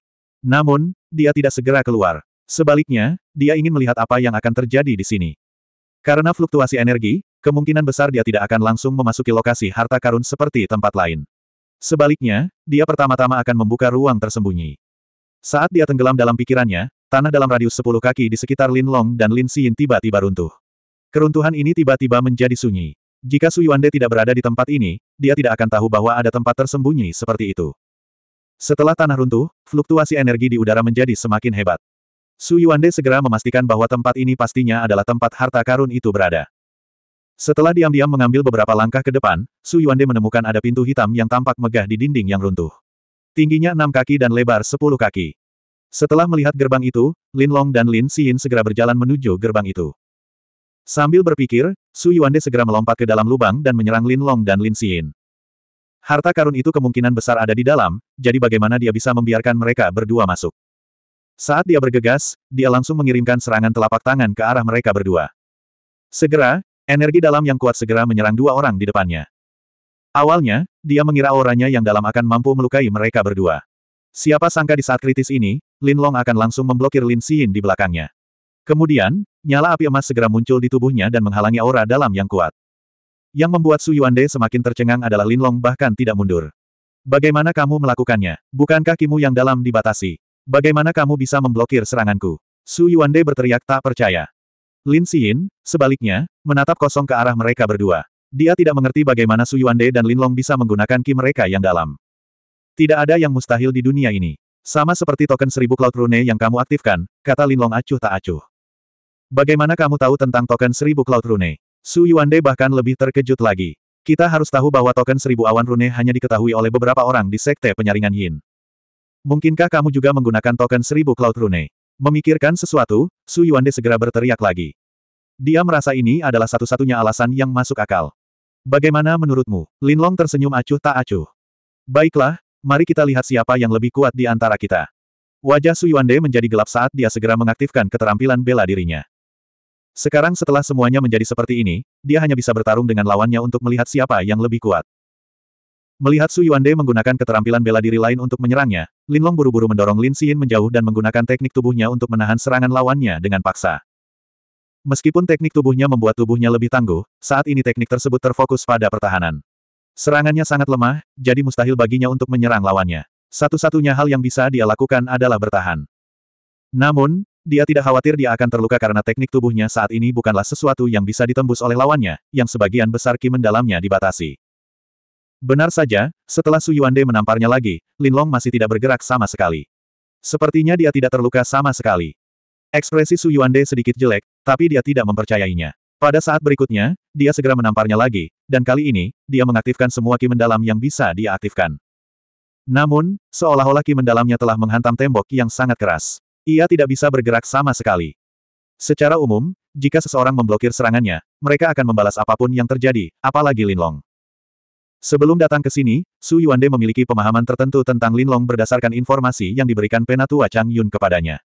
Dia tahu bahwa Lin Long tidak hanya luar biasa di bidang alkimia, tetapi dia juga sangat kuat. Oleh karena itu, tidak masuk akal jika orang seperti itu hanya bertahan dan tidak menyerang. Mungkinkah di bawah pembatasan seperti itu, Lin Long hanya bisa menyerang dan tidak bertahan? Pikiran Su Yuande dipenuhi dengan pertanyaan. Namun, setelah mengamati api di tubuh Lin Long dengan cermat, dia akhirnya menyadari sesuatu yang mencurigakan. Lin Long sama sekali tidak memiliki ki yang mendalam pada dirinya. Namun, bagaimana dia bisa mengaktifkan api tanpa ki yang mendalam? Su Yuande tidak bisa memikirkan hal ini, tapi dia menghela nafas lega karena Lin Long tidak akan bisa menyerangnya dengan cara ini. Sejenak keduanya menemui jalan buntu. Tiba-tiba, entah kenapa, pintu hitam itu terbuka dengan sendirinya. Mata Su Yuande melirik ke sekeliling, lalu dia melompat dan mengelilingi Lin Long dengan kecepatan yang sangat cepat. Benar saja, Lin Long benar-benar tidak bisa menggunakan ki yang mendalam. Hasil ini langsung membuat Su Yuande senang. Jika Lin Long bisa menggunakan ki yang mendalam, dia tidak akan bisa mengelilinginya dengan mudah menggunakan teknik gerakannya. Su Yuande segera mengabaikan Lin Long dan Lin Xin dan mempercepat saat dia masuk ke dalam. Dia sekarang memiliki keunggulan dalam teknik gerakannya, jadi bagaimana mungkin dia tidak memanfaatkannya. Lin Long mengerutkan kening dan dengan cepat memanggil Lin Xin saat mereka masuk ke pintu bersama-sama. Bagian dalam pintu tidak gelap gulita, tapi ada cahaya redup yang datang dari sana. Setelah masuk, mereka menemukan ada aula dengan keliling setidaknya 200 kaki di belakang pintu. Selain beberapa pilar, tidak ada apa pun di aula itu. Dinding di sekelilingnya kosong. Tidak ada petunjuk, dan tidak ada satu pintu pun. Pada saat ini, Su Yuande seperti lalat tanpa kepala ketika dia berdiri di tengah aula dan melihat sekeliling dengan kebingungan. Namun, pada saat ini, dinding di depan mereka tiba-tiba terbuka perlahan. Ketika mereka bertiga melihat situasi di depan mereka, mereka langsung terpana karena di dalamnya terdapat sebuah gua yang sangat besar. Saking besarnya, mereka tidak dapat memperkirakan seberapa lebar, panjang, dan tingginya. Yang membuat mereka semakin tertekan adalah adanya jurang selebar setidaknya 300 kaki antara gua dan aula. Yang terpenting, jurang itu begitu dalam sehingga mereka tidak bisa melihat dasarnya. Jika seseorang jatuh ke dalamnya, sama sekali tidak ada peluang untuk bertahan hidup. Hal ini segera membuat Lin Long, Su Yuande, dan Lin Xin tertekan karena bahkan Su Yuande, yang bisa menggunakan ki yang mendalam, tidak bisa melompati jarak yang begitu jauh. Dengan kata lain, meskipun ada harta karun di dalam gua, mereka bertiga tidak bisa memasukinya. Setelah menghabiskan begitu banyak upaya untuk sampai ke sini, mereka bertiga tentu saja tidak akan menyerah begitu saja. Saat mereka sedang memikirkan cara menyeberangi jurang dan memasuki gua di dalamnya, sebuah suara tiba-tiba datang dari langit. Mereka bertiga mendongak dan melihat seekor binatang buas dengan sepasang sayap besar terbang ke arah mereka dan dengan cepat mendarat di ruang kosong di depan mereka. Binatang buas itu membuka sepasang mata seperti lentera dan melihatnya, tapi dia tidak berniat menyerang mereka bertiga. Mungkinkah binatang buas ini adalah alat mereka untuk menyeberangi jurang? Mereka bertiga memiliki pemikiran seperti itu di benak mereka. Di antara mereka, Su Yuande, yang bisa menggunakan ki mendalam, adalah yang tercepat. Dia segera bergerak dan langsung terbang menuju binatang buas itu. Ketika dia berada sekitar 3 meter dari binatang buas itu, binatang buas itu masih tidak bergerak. Hal ini membuat hati Su Yuande sangat gembira. Dia segera melompat dan mendarat di punggung binatang buas itu. Siapa sangka pada saat ini, binatang buas itu mengepakkan sayapnya dan mengejutkan Su Yuande. Dia langsung dipukul dan terguling ke samping. Untungnya, binatang buas itu tidak menamparkan jurang tersebut, jika tidak, dia tidak mungkin bisa selamat. Situasi berbahaya ini sangat menakutkan Su Yuande hingga keringat dingin mengucur di sekujur tubuhnya. Setelah tamparan ini, binatang buas itu tidak terus menyerang. Sebaliknya, ia tetap berada di tempat yang sama dan menatap mereka bertiga. Setelah tamparan itu, Su Yuande tidak berani bertindak gegabah. Dia tak berdaya tetap di tempatnya dan menyaksikan apa yang akan dilakukan binatang buas itu. Suamiku, apa yang sedang dilakukan binatang buas ini? Lin Xin memandang Lin Long dan bertanya. Dia juga tidak mengerti apa yang akan dilakukan binatang buas itu. Mungkin dia menginginkan sesuatu, dan hanya jika kita bisa mengambil benda itu, dia akan membiarkan kita lewat, kata Lin Long sambil tersenyum. Apakah begitu? Lin Xin memandang binatang buas itu dengan tidak percaya. Su Yuande mengangguk pada dirinya sendiri karena situasi di depannya tampak seperti itu. Namun, apa sebenarnya yang diinginkan oleh binatang buas aneh ini? Meskipun Su Yuande telah membaca banyak hal, dia belum pernah melihat binatang buas yang begitu ganas. Kelihatannya seperti beberapa burung, tapi berbeda dari burung mana pun yang dia kenal. Mungkin ia ingin sesuatu untuk dimakan. Memikirkan hal ini, Su Yuande segera mengambil jatah kering dan melemparkannya ke binatang buas itu. Tidak hanya itu, saat ransum kering itu terbang ke udara, ia langsung ditampar oleh binatang buas itu. Tak hanya itu, ia juga mendesis ke arahnya sehingga menimbulkan keringat dingin di punggungnya.